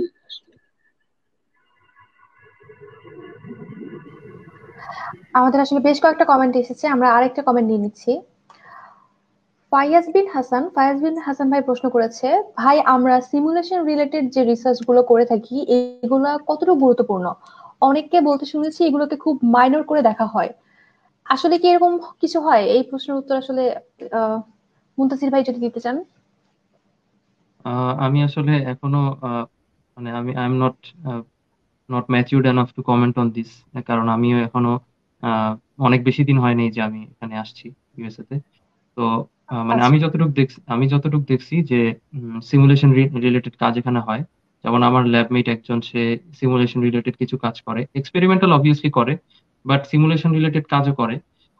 এবং সেটা আসলে এবং এই রিলেটেড সিমুলেশন রিলেটেড পেপারও পাবলিশ হয়। তো অ্যাকচুয়ালি সেটাকে মাইনর হিসেবে দেখা হয় কিনা সেটা আমি জানি না। তবে বাংলাদেশে বসে আমরা যেহেতু এক্সপেরিমেন্টাল কাজ করতে পারি না সাধারণত মানে most of the cases we don't have any other choice হ্যাঁ তো মানে আমার কাছে মনে হয় যে অ্যাটলিস্ট কোনো কাজ কোনো রকম রিসার্চ না করার চেয়ে অ্যাটলিস্ট সিমুলেশন বেসড কাজ হলেও কিছু কাজ করা উচিত আর কি। অনেক ভাই। আমি একটু অ্যাড করতে চাচ্ছিলাম। সেটা হচ্ছে যে আসলে সিমুলেশন রিসার্চগুলো মাইনর করার অনেক আরেকটা কারণ আছে। সেটা হচ্ছে যে আমরা আসলে কোন সফটওয়্যার ইউজ করতেছি। বা আসলে কোন টুল ইউজ করতেছি। তো ম্যাক্সিমাম টাইম আসলে মানে রিসার্চ বেস যেসব সফটওয়্যার সেগুলো আসলে মানে অনেক কস্টলি এবং অনেক ইয়ে হয়। তো সেজন্য আমরা হচ্ছে ক্র্যাক বা বিভিন্ন ধরনের আনঅফিসিয়াল সফটওয়্যার ব্যবহার করি। তো সে, সেগুলোর ক্ষেত্রে আসলে হয়তো হয়তো আমাদের সিমুলেশন বেস কাজগুলোকে মাইনর করে দেখা হয়ে থাকতে পারে। কিন্তু তারপরেও আমরা মনে করি যে আমাদের এই কাজগুলো করার মাধ্যমে আমরা অ্যাটলিস্ট একটা সফটওয়্যারের কীভাবে কাজ করে, তারপরে সিমুলেশন বেজে আমরা রিসার্চ কীভাবে অ্যাপ্রোচ করব, বা আমাদের যে সিমুলেশন টুল সম্পর্কে আমাদের যে নলেজ সেই জিনিসটা আসলে আমাদের খুব জরুরি। তো আমরা সেই জন্য যদি আমরা চাই, তারপরে আমরা পরবর্তীতে যে হ্যাঁ আমি ক্যাডেন্সের একটা ক্র্যাক ভার্সন দিয়ে একটা কাজ করলাম বা কোনো একটা কাজ মানে ছোটখাটো কোনো একটা প্রজেক্ট করলাম। তো কিন্তু পরবর্তীতে আমি যখন কোনো ল্যাবে বা হায়ার স্টাডিসে গিয়ে যখন ওই কাজটা করতে যাব যখন লেটেস্ট টুল ইউজ করব, তখন ডেফিনেটলি আবার ওই ওই ওই কাজটা আমার জন্য খুব হেল্পফুল হবে। আচ্ছা এইখানে হচ্ছে আমি মুনতাসিরের সাথে এগ্রি করি যে হচ্ছে আমি আসলে এনাফ ম্যাচিওর না এই জিনিসটা বলার মতো। তারপরও আমি আমার ইনসাইট বলতে পারি যে আমার কাজটা হচ্ছে এক্সপেরিমেন্টাল বেসড আমার আন্ডারগ্রেডের থিসিস হচ্ছে সিমুলেশন বেসড সো এইখানে যে তুমি যে কোশ্চেনটা করছিলে যে আন্ডারগ্রেডের থিসিস মানে হেল্প করছে কিনা, কিন্তু স্টিল স্টিল হেল্প করছে যে সিমুলেশন বেস আমি কাজ করছি, তারপরেও আমি কিন্তু এক্সপেরিমেন্ট বেজে চলে আসছি। এবং আমার যে ল্যাবটা মানে আমার এক্সপেরিমেন্টাল হওয়ার কারণে হচ্ছে আমার ল্যাবে যেতে হয় মাঝে মধ্যে। আর আমার পাশের ল্যাবটার যে ইটা, বিশাল ল্যাব কিন্তু পুরো ল্যাবে হচ্ছে এখন কেউ নাই। কোভিড এর জন্য তারা কেউ যায় না। কারণ হচ্ছে তাদের পুরো কাজটাই হচ্ছে সিমুলেশন বেস ঘরে থেকে করতেছে। সো এইখানে যে তুমি বললে যে এটাকে মাইনর করে দেখা হয়, এটা এটা আসলে মনে হয় না গুরুত্বপূর্ণ, আমার কাছে মনে হয় এটা গুরুত্বপূর্ণ কিছু না। কারণ সিমুলেশন বেসডও অনেক কাজ হইতে পারে। তো সিমুলেশন বেসটাকে স্পেসিফিকলি করে না করে আমি বলতে পারি যে থিওরিটিক্যাল এবং হচ্ছে এক্সপেরিমেন্টাল দুইটা ক্যাটাগরিতে ভাগ করে ফেলো। এক্সপেরিমেন্টালে হয়তো আমাদের ওরকম অপরচুনিটি নাই বলে আমরা করতে পারি না বা থিওরিটিক্যাল আমরা কাজ করতে পারি। কারণ থিওরিটিক্যাল কাজের জন্য আমাদের অনেক বেশি ইন্টেন্স লিটারেচার রিভিউ করতে হয় ইন্টেন্স পড়াশোনা করতে হয়, এটাই। এইখানে আমার একটা প্রফ একটা কথা বলছিল যে হচ্ছে, দেখো যারা থিওরিটিক্যাল কাজ করছে থিওরিটিক্যাল গাইরা হয়তো এক্সপেরিমেন্টাল নিয়ে মাথা ঘামায় না। যে তারা থিওরিটিক্যালি দেখাইছে যে জিনিসটা হবে। দ্যাট ডাজেন্ট নেসেসারি মিন যে হচ্ছে আমরা এক্সপেরিমেন্টাল পারসন আমরা আমরা জিনিসটাকে সেটাকে আমরা ঘেটে দেখব বা সেটা নিয়েই কাজ করব যে তারা সিমুলেশন করে হোক বা থিওরিটিক্যালি হোক প্রুফ করছে, সেটা আমরা এখন এক্সপেরিমেন্টালি দেখাবো। এমন না। এমন ক্ষেত্রে দেখা যায় যে তারা একটা থিওরিটিক্যাল ব্রাঞ্চ ট্রাই করে দেখছে। আমরা সেটাকে এক্সপেরিমেন্টালি ইমপ্লিমেন্ট করতে পারি, নাও পারি। এটা করতে হবে এমন কোনো কথা নেই। ঠিক আছে? তো থিওরিটিক্যালের যে এক্সাক্ট ইমপ্লিমেশন থাকতে হবে, সেটার কোনো কথা নেই। আবার এক্সপেরিমেন্টালের ক্ষেত্রে দেখা যায় যে আমরা হচ্ছে নিউ ওয়েজ ট্রাই করতেছি। আমরা জানি না আসলে রেজাল্ট প্রডিউস করবে কিনা বাট আমরা ট্রাই করে দেখতেছি। রিসার্চ জিনিসটাই হলো এটা। ট্রাই করে দেখো। তোমার রেজাল্টে ওরিয়েন্টেড জিনিস হইতে হবে এমন কোনো কথা নেই বাট রিসার্চ জিনিসটা হচ্ছে তুমি ট্রাই করতে থাকো ট্রাই করতে থাকো, তোমার ফাইন্ডিংস কিছু একটা আসবে।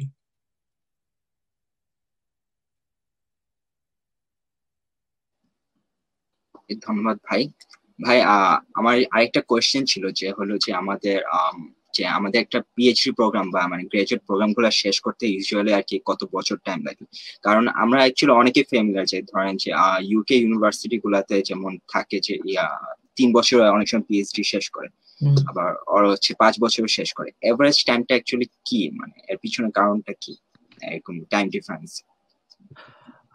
পিএইচডি রিসার্চ এর ক্ষেত্রে যেহেতু আমি ডিরেক্ট প্রোগ্রামে আসছি আন্ডারগ্রেড থেকে পিএইচডির জন্য তো অ্যাভারেজ টাইম যেটা তোমার হচ্ছে প্রোগ্রামের আন্ডারে লেখা থাকে সেটা হচ্ছে ফোর টু সিক্স ইয়ার্স এটার অ্যান্সার হচ্ছে আসলে স্পেসিফিকলি দেওয়া সম্ভব না। তো দেখা যায় যে অনেকে মাস্টার্স করে পিএইচডি করতে আসছে। তাদের রিসার্চের বেসটা অনেক স্ট্রং নতুন করে অনেক কিছু শিখতে হচ্ছে না, তারা রিলেভেন্ট ফিল্ডে আসছে।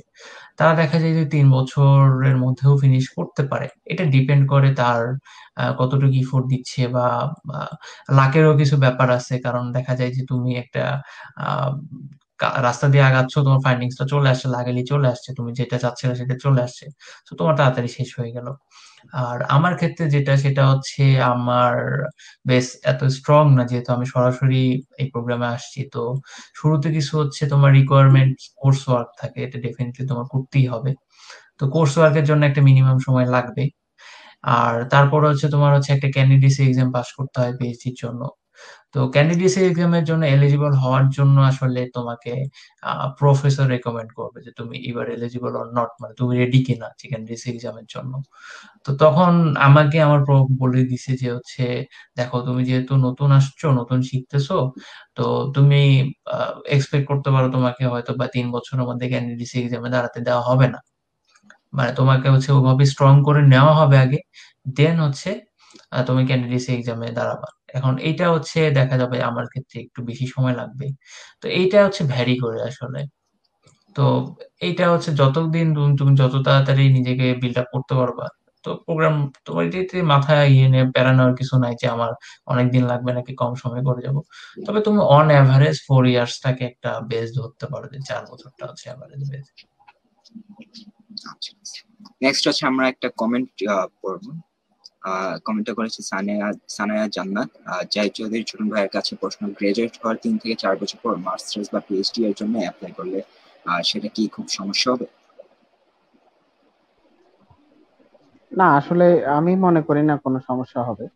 কারণ গ্রাজুয়েট স্টাডিজ আসলে এমন, এটাতে আসলে কোনো ধরাবাধা টাইম নেই। যেমন আমরা যখন আন্ডার গ্রেড শুরু করি বা এর আগে আমরা যখন পড়াশোনা মানে আন্ডারগ্রেড পর্যন্ত পড়াশোনাটার ক্ষেত্রে আমাদের একটা টাইম লাইন ছিল যে আমরা ফার্স্টে এসএসসি তারপরে এইচএসসি তারপরে আন্ডারগ্রেড তো গ্রাজুয়েটের ক্ষেত্রে ওরকম কোনো ধারাবাধা কোনো টাইম লাইন নেই। অনেকে আছে যে বিভিন্ন দীর্ঘ সময় বিভিন্ন জব করে, তারপরে জব এক্সপিরিয়েন্স নিয়ে, তারপরে ওরা হয়তো গ্রাজুয়েট স্টাডিজে প্রবেশ করে। তো এখন এটার আনসার যদি বলতে চাই, যেমন আমি একটা জিনিস বলতে পারি ইউরোপে বিভিন্ন মাস্টার্স প্রোগ্রামে ক্ষেত্রে দেখা যায় যে দুই বছর বা চার বছরের জব এক্সপিরিয়েন্স চায় তো সেক্ষেত্রে এখন আপনার একজন চার বছর জব করার পর তারপরে কিন্তু সে ওই প্রোগ্রামে অ্যাপ্লাই করতে পারবে বা ওখান থেকে হয়তো স্কলারশিপ পাবে। তো সেক্ষেত্রে তার তার তার কিন্তু মানে এখন ওই দুই, তিন বছর, তিন, চার বছর পার হয়ে গেছে, এখন আমি আবার পড়াশোনা করতে পারব কিনা? তো সেটা কিন্তু আসলে মানে কোনো ফ্যাক্ট না। আর আর যদি রিসার্চের ক্ষেত্রে বলতে চাই যে আমি রিসেন্টলি দেখেছি যে একজন বড় ভাই উনি থার্টি থার্টি এইট ইয়ার্স ওনার আটত্রিশ বছর বয়স হয়ে গেছে। তারপরে উনি পিএইচডি শুরু করেছেন। তো সেক্ষেত্রে এটা আসলে মানে বয়সটা আসলে খুব একটা ফ্যাক্ট না। তবে হ্যাঁ মানে দীর্ঘ সময় আমাদের একটা পড়াশোনার যদি গ্যাপ হয়ে যায়, তখন আমাদের ক্ষেত্রে একটু একটা সমস্যা হতে পারে যে হয়তো একাডেমিক স্টাডিজ থেকে আমরা অনেক দূরে চলে যাই বা আমাদের ওই মানে কম বয়সে আমাদের যে একটা ইনথুসিয়াজম থাকে, সেটা হয়তো পরবর্তীতে থাকে শুধু এই একটা প্রবলেম হয়তো হতে পারে। কিন্তু graduate studies you can you can do graduate studies in any time there is no time limit যাই চৌধুরী ভাইকে ধন্যবাদ। আমরা এরপরে আপাতত কমেন্ট নিচ্ছি না। এরপরে আমাদের কিছু প্রশ্ন ছিল। এরপর প্রশ্নটা আমাদের আসলে অন্যান্য দেশ থেকে যে আসা গ্র্যাড স্টুডেন্টদের সাথে আমাদের মেজর ডিফারেন্সগুলো। সেটা মানে আমাদের এই যে থিম লাইনটা থাকে একাডেমিক লার্নিংস এর ক্ষেত্রে স্কিল অ্যান্ড অল যে বা আমাদের curriculum syllabus sufficient area cover করে কিনা আদৌ, আমাদের সাবকন্টিনেন্টের যে কারিকুলাম সেক্ষেত্রে আপনারা আসলে যে কি ধরনের প্রবলেম ফেস করে, যদি ফেস করে থাকেন, আর করে থাকলে কি ধরনের প্রবলেম ফেস করেছেন এই ব্যাপারে যদি কিছু বলতেন। অনেক হোসেন ভাই। এখন আন্ডারগ্রেডের কারিকুলামের কথা যদি বলো যে হচ্ছে, আমি মনে করি যে আমাদের যে জিনিসগুলা কারিকুলাম আছে বা সিলেবাস আছে, আমাদের সিলেবাসটা ঠিক আছে যে মনে করো যে সিলেবাসে যে জিনিসগুলো রাখা হয় যেগুলো আমাদের শেখানো হবে, এটা ডেফিনেটলি ঠিক আছে। বাট কতটুকু আমরা কভার করতে পারি, এটা এটা আসলে হচ্ছে কনফিউশনের ব্যাপার। কারণ হচ্ছে যে আমরা সবকিছু হয়তো বা কভার করি না। হ্যাঁ আমরা অনেক কিছু স্কিপ করে যাই বা আমাদের কনসেপ্টগুলো ক্লিয়ার থাকে না। তো আমি এখানে এসে কোর্স শুরু করার পরে যে জিনিসটা দেখছি, যে সেম কোর্স হয়তো আমি আন্ডারগ্রেডও করে আসছি বাট এখানে যে কোর্সটা করতেছি যে একজন এটা আসলে ডিপেন্ড করে যে হচ্ছে কোন টিচার তোমাকে হচ্ছে টিচ করতেছে বা কোন প্রফেসর টিচ করতেছে। বাট আমি যখন এই জিনিসগুলো দেখছি, যে জিনিসগুলো যখন জানছি, সবকিছু পরিচিত লাগে বাট আমার কনসেপ্ট ক্লিয়ার ছিল না। বাট এখানে নতুন করে যখন শিখছি জিনিসগুলো মানে আমি আরও মজা পাচ্ছি জিনিসগুলো আরও অনেক ভালোভাবে শিখতে পারতেছি। তো তা এই জিনিসগুলো আমার কাছে মনে হয়েছে যদি আমি এটা আন্ডারগ্রেডে শিখতে পারতাম বা আমাকে যদি এভাবে কেউ শিখাইতো, আমি যখন আন্ডারগ্রেডে রিসার্চ করছি, আমার জন্য হয়তো এত কষ্ট হইতো না। বা আমি আরও বেটার কিছু করতে পারতাম বা আরও একটু বেটার রেজাল্ট প্রডিউস করতে পারতাম। তো এই ধরনের সিচুয়েশন কিছু কিছু ফেস করতে হবে যে তুমি যখন একটা ফুল ফ্লেজ প্রফেসরের আন্ডারে কোর্স করবা, উনি বিশ বছর ধরে টিচ করতেছে এবং ওনার এই ফিল্ডে নলেজ অনেক বেশি। তখন তুমি যখন এইরকম একটা নলেজেবল পার্সনের আর আন্ডারে মানে তুমি যখন কোর্স নিবা, তখন আসলে ডিফারেন্স তুমি আসলে বুঝতে পারবা যে আসলে হচ্ছে আমরা, আমাদের বেসে কত হচ্ছে মানে কতটা উইক বা হচ্ছে আমাদের কনসেপ্টে কতটুকু হচ্ছে আনক্লিয়ার আছে। তো এই জিনিসটাই আর কি। মুনতাসির মাহাদি ভাই, আপনি কি এরকম কোনো প্রবলেম ফেস করেছেন এখন পর্যন্ত? কোর্সের ব্যাপারগুলো কোর্সের ব্যাপারগুলো যেটা সিলেবাসের কথা অনেক যেটা বলল, আমিও একমত। সিলেবাস আমার মনে হয় যে আমাদের সিলেবাসগুলো একদম স্ট্যান্ডার্ড।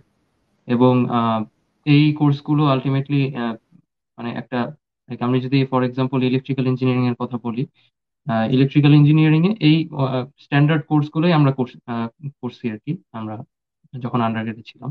এবং সেটা বাংলাদেশে বুয়েট বুয়েট হোক বা যে কোনো ভালো মানে টপ ইউনিভার্সিটি বাংলাদেশের হোক বা দেশের বাইরে হোক যে কোনো ইউনিভার্সিটিতেই এই ধরনের স্ট্রাকচার ফলো করা হয়।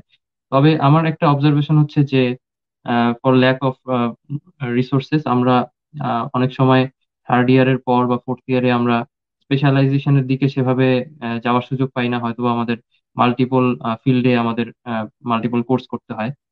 যেটা হয়তো বা হয়তো বা দেশের বাইরে এসে দেশের বাইরে বা আমরা একটু একটু বাইরে আসলে তখন দেখা যায় যে এখানে যারা আন্ডারগ্রেড করে, তারা হয়তো বা থার্ড ইয়ারের পর কোন একটা স্পেশালাইজেশনের দিকে চলে যায়। তো আমার মনে হয় যে এইখানে একটা গ্যাপ থাকতে পারে, যেখানে হয়তো আমি ইলেকট্রিক ইলেকট্রনিক্স পাওয়ার এবং একই সাথে কমিউনিকেশন তিনটা ফিল্ডেই আমি কোর্স করছি ফোর্থ ইয়ারে যেটা হয়তো বা একজন ইন্ডিয়ান স্টুডেন্ট বা একজন আমেরিকান স্টুডেন্ট তারা হয়তো বা থার্ড ইয়ার পর বা ফোর্থ ইয়ার থেকে তারা কোনো একটা নির্দিষ্ট ফিল্ডে তারা স্পেশালাইজ করছে। সেখানে একটা ছোট গ্যাপ থাকতে পারে বাট আমার মনে হয় যে মোস্টলি ভেরি স্ট্যান্ডার্ড এবং অন্যান্য দেশের যে স্টুডেন্টরা আছে, তাদের থেকে আমার কাছে মনে হয়েছে আমি যতটুকু মানে খুবই অল্প সময় আমি এখানে আছি বাট যতটুকু মনে হয়েছে আমার যে, তাদের থেকে বাংলাদেশি স্টুডেন্টরা আসলে কোনো অংশে কম না। এবং তারা মানে আমরা যেই পরিমাণ রিসোর্স নিয়ে আমরা যতটুকু মানে চেষ্টা করি, আমরা, আমার মনে হয় যে বাংলাদেশের যে কোনো স্টুডেন্ট আসলে এখানে এসে তার তার পক্ষে এটা ক্যাচ করা পসিবল বা অন্যান্য বিভিন্ন কান্ট্রির স্টুডেন্টদের সাথে কম্পিট করা পসিবল মুতাসিম মাইদি ভাইকে ধন্যবাদ। আর আমরা এর পরের প্রশ্নে চলে যেতে পারি, যদি কেউ কিছু বলতে না চাই ব্যাপারে আর। আমাদের পরের প্রশ্ন ছিল আসলে ওয়ার্ক কালচার নিয়ে। যেখানে মানে আপনারা যেখানে আছেন, সেখানে ওয়ার্ক কালচারটা কি কম্পিটিটিভ নাকি কোঅপারেটিভ বা এখানকার ল্যাব এনভায়রনমেন্ট আসলে কেমন? ল্যাব মেটদের হেল্পফুল কিনা? অথবা ডেডলাইন মিট করার যে একটা প্রেশার থাকে, এই এই ব্যাপারগুলো নিয়ে যদি কিছু বলতেন। অনেক হোসেন ভাই। আচ্ছা ওয়ার্ক কালচারের যদি কথা বলো, এটা এটা হচ্ছে ওয়ার্ক কালচার আমি বলব ডেফিনেটলি এখানে হচ্ছে কোঅপারেটিভ ওয়ার্ক কালচার এখানে কম্পিটিটিভের চাইতে হচ্ছে কোঅপারেটিভনেসটাই বেশি। তো তোমার প্রফ অনেক হেল্পফুল হবে তোমার ক্ষেত্রে যে তুমি কীভাবে কাজ করবা, তোমাকে ডিরেকশন দিবে বা তোমার সুপারভাইজার তোমাকে ডিরেকশন দিবে। তোমার ল্যাবমেটরাও অনেক বেশি হেল্পফুল হবে। বেসিক্যালি হচ্ছে এখানে কোঅপারেটিভ ওয়ার্কপ্লেস বাট ওই যে আমি প্রথমে যে কথাটা বলতেছিলাম যে তুমি একটা ফলস এক্সপেকটেশন যদি ক্রিয়েট করে ফেলো, তখন প্রফ এর সাথে তোমার হচ্ছে বা তোমার সুপারভাইজারের সাথে তোমার একটা মিসকমিউনিকেশন ক্রিয়েট হয়ে যায়।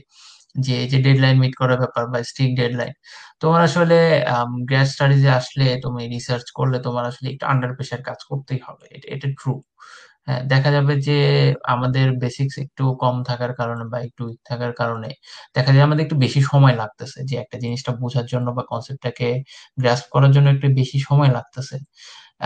দ্যাট ডাজেন্ট মিন যে হচ্ছে আমরা কোনোভাবে ইনক্যাপেবল কোনোভাবে ইনক্যাপেবল না। মধ্যে যেটা বলল যে আমরা, আমাদের কম্পিট করার মতো এনাফ ক্যাপাবিলিটি আছে ডেফিনেটলি ক্যাপাবিলিটি আছে জাস্ট আমাদের ইফোর্টটা দিতে হয় আর কি। তো এক্ষেত্রে হচ্ছে যদি তোমার সুপারভাইজারের সাথে হচ্ছে খুবই কোঅপারেটিভ একটা রিলেশনশিপ থাকে, এটা এটা আসলে ম্যাটার করে না যে হচ্ছে তোমার ডেডলাইন স্ট্রিক্ট কিনা বা হচ্ছে তুমি তোমাকে খুব বেশি প্রেশার দেওয়া হচ্ছে কিনা। তুমি এ ব্যাপারে ওপেন থাকবা তোমার সুপারভাইজারের কাছে যে হচ্ছে, আসলে আমার জন্য এটা বেশি প্রেশার হয়ে যাচ্ছে, আমার জন্য একটু ওয়ার্কলোড কমাই দিলে ভালো হয়। এটা বুঝবে উনি এ ধরনের হচ্ছে ঘটনা খুব কমই হয়। বিচ্ছিন্ন ঘটনা বলা যায় এগুলো যে প্রফের খুব মানে এক্সট্রিম কিছু করে ফেলতেছে যে তোমাকে অনেক বেশি প্রেশার দিয়ে ফেলতেছে, এরকম ঘটনা খুব কমই হয়। আমি এখানে একটা জিনিস অ্যাড করতে চাই। সেটা হচ্ছে যে এই কোঅপারেটিভ আমিও আমি যতটুকু আমার অবজারভেশন আমি কোঅপারেটিভ একটা একটা রিলেশনশিপ আমি পাইছি যে প্রফেসরদের সাথে প্রফেসরের সাথে বা ল্যাব মেটদের সাথে একটা কোঅপারেটিভ অ্যাটিটিউড সবাই মানে এখানে হোল্ড করে আর কি। লাইক আমার ল্যাব মেটরাও মানে তারাও, আমি আমি যতটুকু দেখছি তারা খুবই হেল্পফুল এবং বিভিন্ন কিছু তারা নিজে থেকে হয়তো বা আমাকে সাজেশন দিচ্ছে যে এটা এইভাবে করা উচিত বা এটা এইভাবে করা উচিত না, এরকম আর কি। এবং আমার আরেকটা জিনিস এটা আমার মনে হয় যে আমরা আসলে কমিউনিকেশনের ব্যাপারে একটুখানি পিছিয়ে থাকি। যে জিনিসটা আসলে এখানে একটা ভাইটাল একটা বিষয় যে যে প্রফেসরের সাথে খুবই রেগুলারলি কমিউনিকেশন করা, আমি কোন স্টেটে আছে, আমি যদি কোন একটা জিনিস আমি পাচ্ছি মানে কোনো প্রবলেমে প্রবলেম ফেস করতেছি, আমি বুঝতে বা এই কোন একটা এক্সপেরিমেন্ট করতে মানে আমার উচিত যে ইমিডিয়েটলি এটা প্রফেসরের সাথে কমিউনিকেট করা। যেটা হয়তো আমাদের কিছুটা ল্যাকিং থাকে বাংলাদেশে, কারণ আমরা এই জিনিসটার সাথে খুব একটা পরিচিত না। তো আমার মনে হয় কমিউনিকেশনটা খুব ইম্পর্টেন্ট যে প্রত্যেকটা স্টেপ এগুলা সুপারভাইজারকে আপডেট জানানো ল্যাব মেটদের সাথে কোঅপারেট করা that's a very important thing to do এটাই। এক্স্যাক্টলি আসলে মানে competitive most of the time cooperative হয়। বাট কম্পিটিটিভের ক্ষেত্রে যেহেতু সবাই আসলে এই কম্পিটিটিভের বিষয়ে আমি একটু বলতে চাচ্ছি, যে অনেক সময় এরকম হয় যে কম্পিটিটিভ হয়তো আমাদের ল্যাবের ভিতরে হয় না বাট প্রফেসরদের মধ্যেও আসলে একটা মানে একটা কম্পিটিটিভ এনভায়রনমেন্ট আসলে কিছুটা হলেও থাকে। যেমন ধরো যেমন আমরা যখন যখন কোন একটা প্রফেসরের আন্ডারে কাজ করি, তো উনি আসলে হয়তো শুরুর দিকে আমাদেরকে প্রেশার হয়তো নাও দিতে পারে। কিন্তু ইন ফিউচার কিন্তু আমাদের হয়তো কাজের প্রেশারটা হয়তো যে কোনো টাইমে হয়তো বেড়ে যেতে পারে।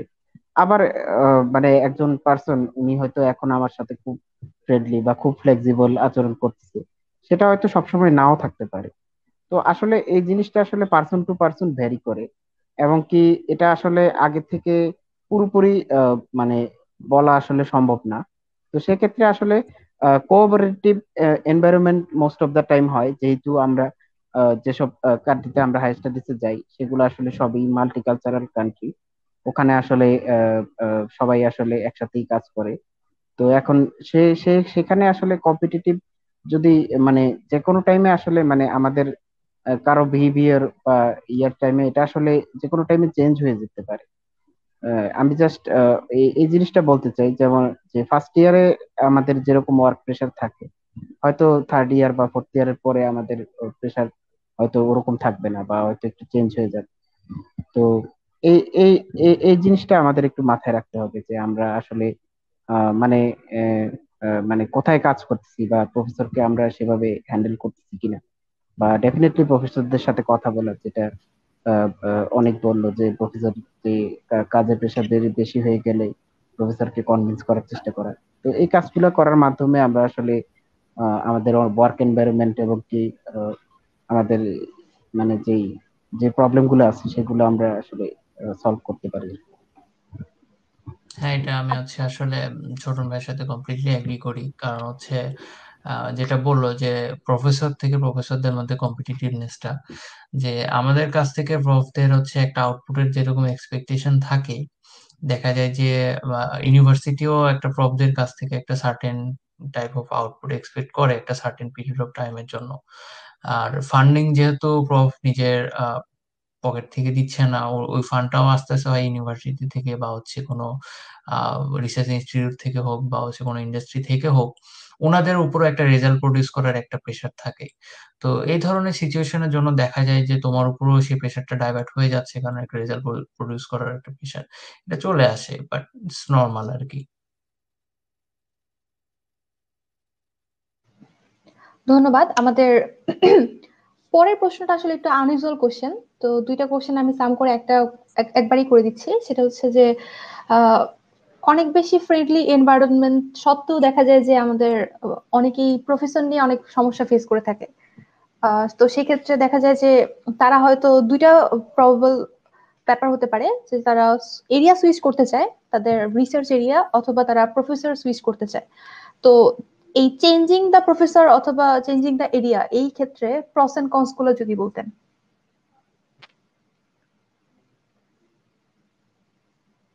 আমার মনে হয় রিসার্চ এরিয়া নিয়ে ছোট ভাই আগে বললে বেটার যেহেতু উনি সুইচ করতেছেন হ্যাঁ হ্যাঁ অবশ্যই অবশ্যই।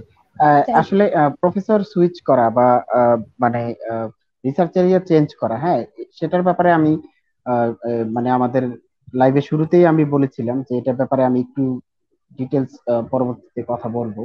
তো এখন এখানে আমি যখন আমি ইলেকট্রিক্যালে পড়াশোনা করেছি তো আমার আসলে রোবোটিক্স এর প্রতি প্রচুর ইন্টারেস্ট ছিল। রোবোটিক্স রিলেটেড আমি কাজ করেছি। এখন রোবোটিক্স আসলে অনেকগুলা ডিপার্টমেন্টের মানে বা অনেকগুলা সাবজেক্ট এখানে আসলে ইনভলভ যেমন কম্পিউটার সায়েন্সে তারপরে ইলেকট্রিক্যাল ইঞ্জিনিয়ারিং তারপরে মেকানিক্যাল ইঞ্জিনিয়ারিং তারপরে ম্যাথমেটিক্স এমনকি অনেক অনেক মানে ইঞ্জিনিয়ারিং এর সব এমনকি আর্কিটেকচারও অনেক অনেক অনেক ক্ষেত্রে। তো সেক্ষেত্রে আমরা আসলে যেমন আমার আমার কাজ ছিল মূলত প্রোগ্রামিং বেস এবং আমি পুরোপুরি ফোকাস ছিলাম অ্যালগোরিদম অ্যালগোরিদম রিলেটেড কাজে। তো সে সেই সেই জিনিসটাই আসলে আমাকে হেল্প করেছে আমার প্রফেসরের প্রফেসরকে কনভিন্স করার ক্ষেত্রে। তো আসলে প্রফেসর কিন্তু আমার আন্ডার গ্রেডে আমি ইলেকট্রিক্যালে যা পড়াশোনা করেছি বা ইয়ে করেছি, সে সেগুলোর ক্ষেত্রে আসলে খুব একটা মানে ফোকাস না। সো উনি উনি চাচ্ছিলেন যে আমি আসলে মানে উনি যে অ্যালগোরিদম মানে আমি যে কাজটা করব এখানে গিয়ে, যে বিভিন্ন সফটওয়্যার ফার্স্টে সিমুলেশন বেসড কাজ করব, তারপরে ওই কাজগুলো আমরা অ্যাপ্লিকেশন করে রিয়েল ওয়ার্ল্ডে দেখব যে আসলে আমাদের রোবটগুলা এইসব এইসব কাজ মানে আমাদের কমান্ডগুলা ফলো করতে পারে কিনা বা আমরা যে পাথ প্ল্যানিং বা অটোমেশনের যে কাজ করতেছি, সেই কাজগুলো ঠিক মতো কাজ করতেছি কিনা। তো এমনকি আমি আরেকটা জিনিস বলতে চাই যে আমি যেই লেবে কাজ করি, সেখানে আমাদের একজন সিনিয়র স্টুডেন্ট আছে, যিনি আসলে ম্যাথমেটিক্স থেকে ম্যাথমেটিক্স থেকে উনি ব্যাচেলার্স কমপ্লিট করেছেন। তো উনার আসলে বিষয়টা হলো, উনি যে রিসার্চ করেন, সেখানে কম্পিউটার সায়েন্স রিলেটেড নলেজ যদি মানে অ্যারাউন্ড টোয়েন্টি পার্সেন্ট আর এইটি পার্সেন্টই হচ্ছে ম্যাথমেটিক্স রিলেটেড নলেজ প্রয়োজন। তো সেক্ষেত্রে উনি কম্পিউটার সায়েন্সের যে নলেজটা প্রয়োজন, উনি ওনার হাই স্টাডিসে জয়েন করার পর যে বেসিক কোর্স ওয়ার্ক আছে, সেগুলোর মাধ্যমেই উনি কমপ্লিট করে ফেলতে পারতেছি। কিন্তু বাকি যে নলেজ আমাদের mathematics is the base of engineering so and also there are some owner research related যেসব কোর্স প্রয়োজন ছিল, সেগুলা সব, সবগুলোর ক্ষেত্রেই ওনার অনেক ভালো দক্ষতা ছিল, এমনকি উনি মাস্টার্সও কমপ্লিট করেছিলেন ম্যাথমেটিক্সে। তো সে এক্ষেত্রে আমি আসলে ইন শর্ট যদি বলি, আসলে আমাদের আন্ডারগ্রেড স্টাডিজ বা ডিপার্টমেন্ট বা, আমরা যদি সুইচ করতে চাই yes it is definitely possible আমরা যদি সেটা রিলেট করতে পারি। এমন, এরকমও আছে যে মানে এই স্টেম থেকে নন স্টেম ফিল্ডেও চলে যায়। এরকমও আসলে অনেক আছে যে ইঞ্জিনিয়ারিং এবং ম্যাথমেটিক্স এইসব থেকে অন্যদিকে চলে গেল। যেমন ইকোনমিক্সে অনেক চলে যায়। সেটাও অনেক, আসলে সম্ভব। অনেকে আছে যে ইকোনমিক্সে মাইক্রো ইকোনমিক্স নিয়ে রিসার্চ করতেছে। সে হয়তো ইঞ্জিনিয়ারিং এ পড়াশোনা করেছে, কিন্তু তার ওই রিলেটেড নলেজ আছে বা তা সে হয়তো প্রফেসরকে ওইভাবে কনভিন্স করতে পেরেছে বা ইউনিভার্সিটিতে সে ওইভাবে অ্যাপ্লাই করতে পেরেছে। তো এটা আসলে মানে আমি বলব যে it is possible and also just ask yourself what you want to do so তুমি আসলে কোন জায়গায় এক্সপার্ট সেটা তোমাকে খুঁজে বের করা লাগবে। তারপরে তুমি যদি সেই কাজটা করতে পারো it doesn't matter what is your background or it doesn't matter where you are from আর আরেকটা জিনিস ছিল যে আসলে প্রফেসর সুইচ করা রিসার্চের মাঝখানে। তো ওই ব্যাপারে আসলে যদি মুন্তাসির বললে মনে হয় ভালো হয় যে আমরা যখন একটা সার্টেন টাইম কাজ করার পর যখন একটা প্রফেসর সুইচ করি তখন আমাদের নতুন করে কাজ শুরু করা লাগে। তো সেক্ষেত্রে আসলে ব্যাপারটা একটু ডিফারেন্ট কারণ আমাদের সবকিছু আবার নতুন করে শুরু করা লাগে। তো মুন্তাসিরের ব্যাপারে বললে ভালো হবে আচ্ছা ভাই, আমি একটু অ্যাড করি সেটা আপনি যেটা বললেন সেটার সাথে। সেটা হচ্ছে যে ফিল্ড চেঞ্জ করার সময় কিছু বিষয় সামনে চলে আসে। যেমন যে আমি যে নতুন ফিল্ডে যাব, সেই ফিল্ডে আসলে আমি সেই ফিল্ডে কাজ করার জন্য কতটুকু ইন্টারেস্টেড এবং সেখানে আমি কতটুকু ক্যাপাবল এটার জন্য আসলে আমার মনে হয় যে এসওপিটা অনেক ইম্পর্টেন্ট আমরা যদি এসওপিতে এটা দেখাইতে পারি যে আমরা যদি কিছু ডট কানেক্ট করতে পারি যে আমি আমার প্রিভিয়াস এক্সপিরিয়েন্স প্রিভিয়াস যে এক্সপিরিয়েন্সগুলো আছে সেটা প্রুফ করে যে আমি এই ফিল্ডে আই উইল ডু মানে ভেরি গুড আর কি হ্যাঁ? তো এই জিনিসটা যদি আমরা প্রুফ করতে পারি, তাহলে এটা একটা খুব স্ট্রং একটা পয়েন্ট হয় ফিল্ড চেঞ্জ করার ব্যাপারে। কারণ এই কোশ্চেনটা সবসময় হয়তোবা আস্ক আমরা যে কোনো জায়গায় আস্ক হইতে পারি। ইভেন ভিসা ইন্টারভিউতে অনেক সময় এই ধরনের কোশ্চেন করা হয়। যে তুমি ফিল্ড চেঞ্জ করতেছো কেন বা এই এই রিলেটেড কোশ্চেন অনেক সময় ভিসা ইন্টারভিউতে করা হয়। তো এসওপি ইজ ভেরি ইম্পর্টেন্ট আরেকটা মানে রিলেভেন্ট একটা এক্সপিরিয়েন্স আমি শেয়ার করি। ওয়ান অফ মাই ল্যাবমেটস সে যেটা করছে যে আন্ডারগ্রেডে ডাবল মেজর ডাবল মেজর করছে ম্যাথমেটিক্স এবং আর্কিটেকচার তো এবং আমাদের অ্যাকচুয়ালি ল্যাবের কাজটা হচ্ছে quantum device related so actually সেটা হয়তোবা directly related to physics and electrical engineering but সেখানে কিন্তু ম্যাথমেটিক্স এবং আর্কিটেকচার রিলেটেড অনেক অ্যাপ্লিকেশন সেখানে করার সুযোগ আছে। তো আলটিমেটলি সে একটা অন্য ডিফারেন্ট একটা ব্যাকগ্রাউন্ড হওয়ার পরেও সে এখানে একটা ভালো কন্ট্রিবিউশন করার সুযোগ পাচ্ছে। তো এটা একটা জিনিস যে আসলে স্কিল চেঞ্জ করাটা মানে ইটস পসিবল এটা খুবই এবং খুব আনকমন না আর কি অনেকেই ফিল্ড চেঞ্জ করে। তো বেসড অন ইন্টারেস্ট আর কি যে কেউ ফিল্ড চেঞ্জ করতেই পারে, সমস্যা নেই। তবে প্রফেসর সুইচ করার ব্যাপারটা আমার আসলে আইডিয়া খুব কম। আমার মনে অনেক যদি এটা নিয়ে আইডিয়া থাকে অনেক কিছু বলতে পারে আর কি। প্রফেসর সুইচ করা ছোটন ভাই যেটা বলতেছিল আসলে যে তুমি তোমার মিড রিসার্চে তুমি প্রফেসর সুইচ করলা বা টপিক সুইচ করলা। মানে প্রফেসর সুইচ করা বলতে বেসিক্যালি আমরা যেটা বুঝাই যে সেটা হচ্ছে আমরা আমাদের রিসার্চ টপিকটা চেঞ্জ করতেছি। এরকম হইতে পারে যে তোমার আসলে তুমি যে লাইনে আগাচ্ছ, সে লাইনে তুমি আসলে হচ্ছে না তোমাকে দিয়ে বা তোমার সাথে কম্পারেটিবল হচ্ছে না। তুমি এক্ষেত্রে সুইচ করতে পারো বাট এটা এটা ডিপেন্ড করে তোমার হচ্ছে সুপারভাইজারের সাথে আন্ডারস্ট্যান্ডিং কেমন।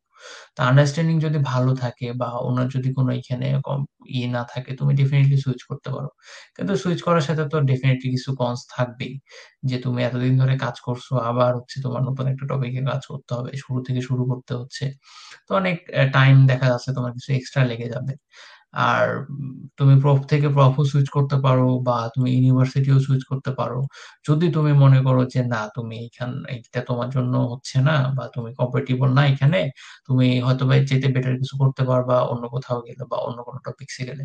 এটা করতে পারো বাট আমার অ্যাডভাইস হচ্ছে যে এটা খুব মানে মিউচুয়ালি করাটা বেটার যে প্রফ ও রাজি তুমিও রাজি, কারও কোনো সমস্যা নেই। মিউচুয়াল হলে বেটার আর মিউচুয়াল না হলে জিনিসটা আসলে কমপ্লিকেটেড হয়ে যায় কমপ্লেক্স হয়ে যায়।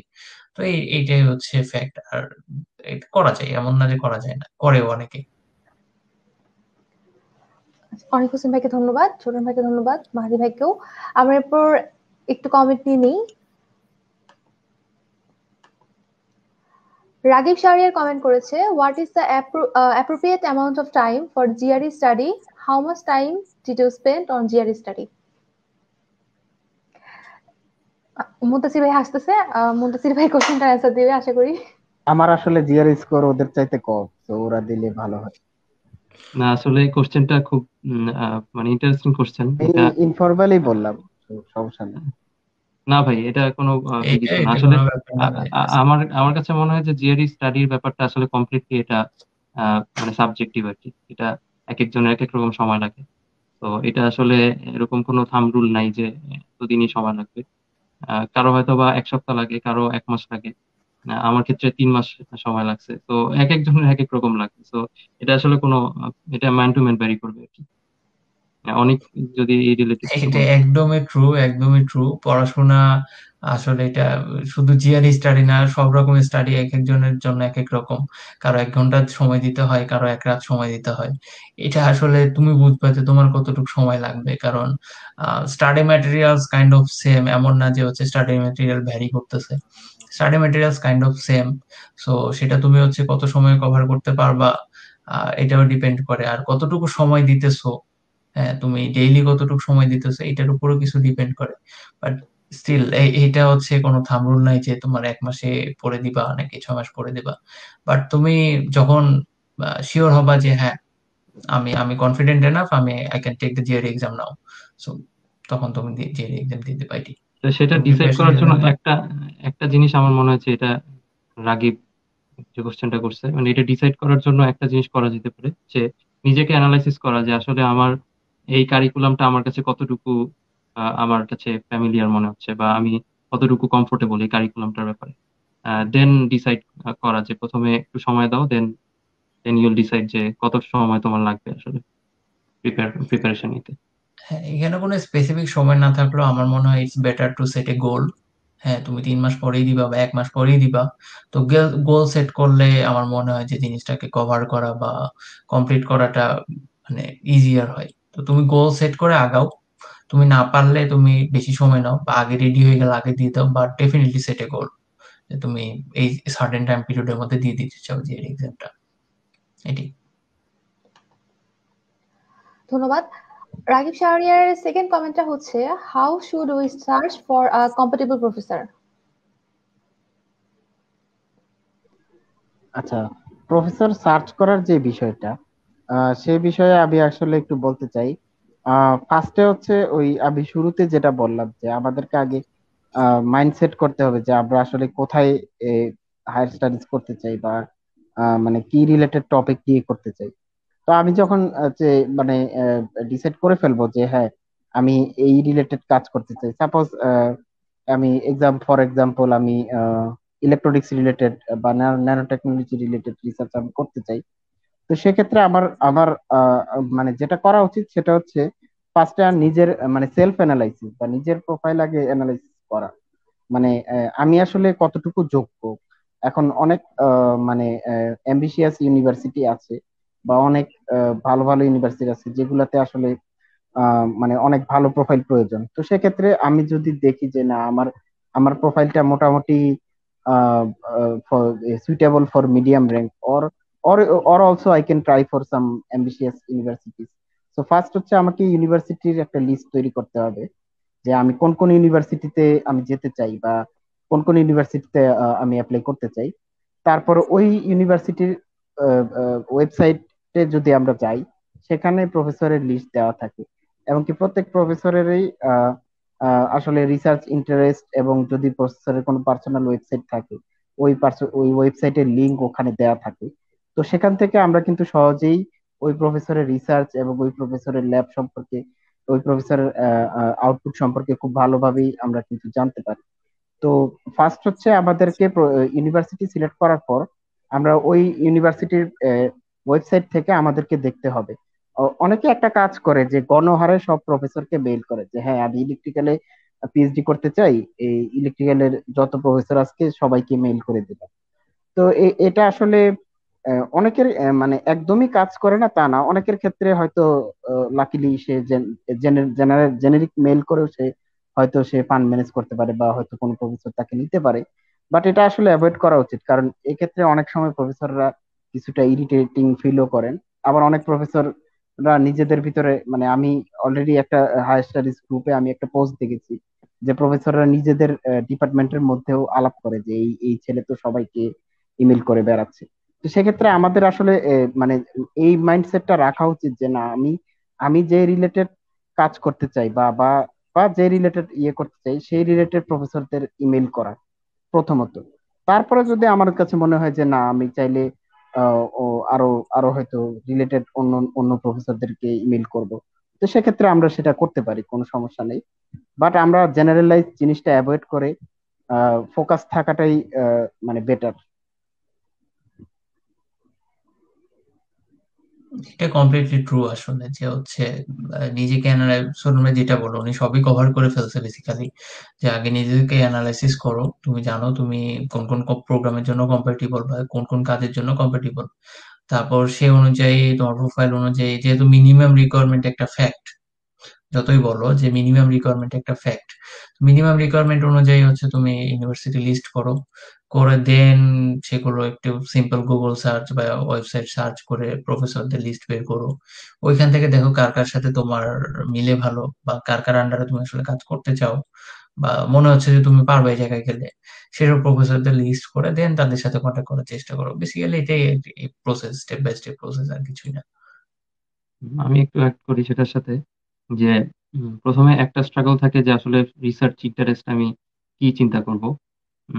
যেটা আমার ক্ষেত্রে হয়েছে আর কি যে আমি বুঝতেছিলাম না আসলে কোন রিসার্চ টপিক আমি বেশি ইন্টারেস্টেড এটা আমি বুঝতেছি না। তো এটার জন্য আসলে সিনিয়রদের সাথে মানে কন্ট্যাক্ট করা উচিত আমার মনে হয়। মানে আমি সিনিয়রদের সাথে অনেক মানে অনেক কথা বলছি এবং ওনারা অনেক হেল্প করছেন আমাকে। প্লাস আমাদের আমাদের যে ফ্যাকাল্টিরা আছেন এখন পিএইচডি করতেছেন বিভিন্ন ইউনিভার্সিটিতে তারাও আমাদেরকে অনেক হেল্প করছেন। তো এটা একটা ইস্যু আর কি যে সবার সাথে কনসাল্ট করলে then you'll get an idea যে আসলে কি কি নিয়ে রিসার্চ হয়।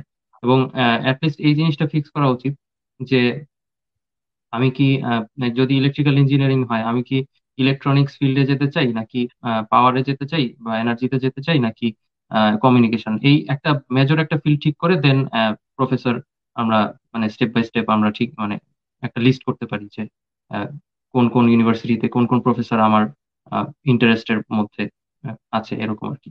তো কেউ যদি সেন্ট্রালি অ্যাপ্লাই করে মানে প্রথমে ইউনিভার্সিটি সিলেক্ট করে দশটা বা পনেরোটা ইউনিভার্সিটি সিলেক্ট করে দেন প্রফেসরদেরকে ইমেল করে, এটা কাজটা অনেক অনেক মানে কমে যায়। বাট আমার আমার ক্ষেত্রে আমি আগে প্রফেসরদেরকে ইমেল করে দেন আমি ইউনিভার্সিটি সিলেক্ট করছিলাম। তো দ্যাটস ওয়াই আমার অনেক অনেক ইউনিভার্সিটিতে হয়তো বা পঞ্চাশ বা ষাটটা ইউনিভার্সিটির বিভিন্ন ডিপার্টমেন্ট মানে ইলেকট্রিক্যাল ইঞ্জিনিয়ারিং এর বিভিন্ন প্রফেসরকে ইমেল করতে হয়েছে তো আমার মনে হয় যে make a list then then you'll get an idea যে আসলে কি কি টাইপ কি কি ধরনের রিসার্চ আসলে হয় এবং কোনটা নিয়ে আসলে বেশি তোমার ইন্টারেস্ট এবং দেন দেন স্টার্ট ইমেইলিং এবং আসলে এই যে ছোটন ভাই যেটা বলল যে গণহারে ইমেল করাটা আসলে উচিত না আর কি।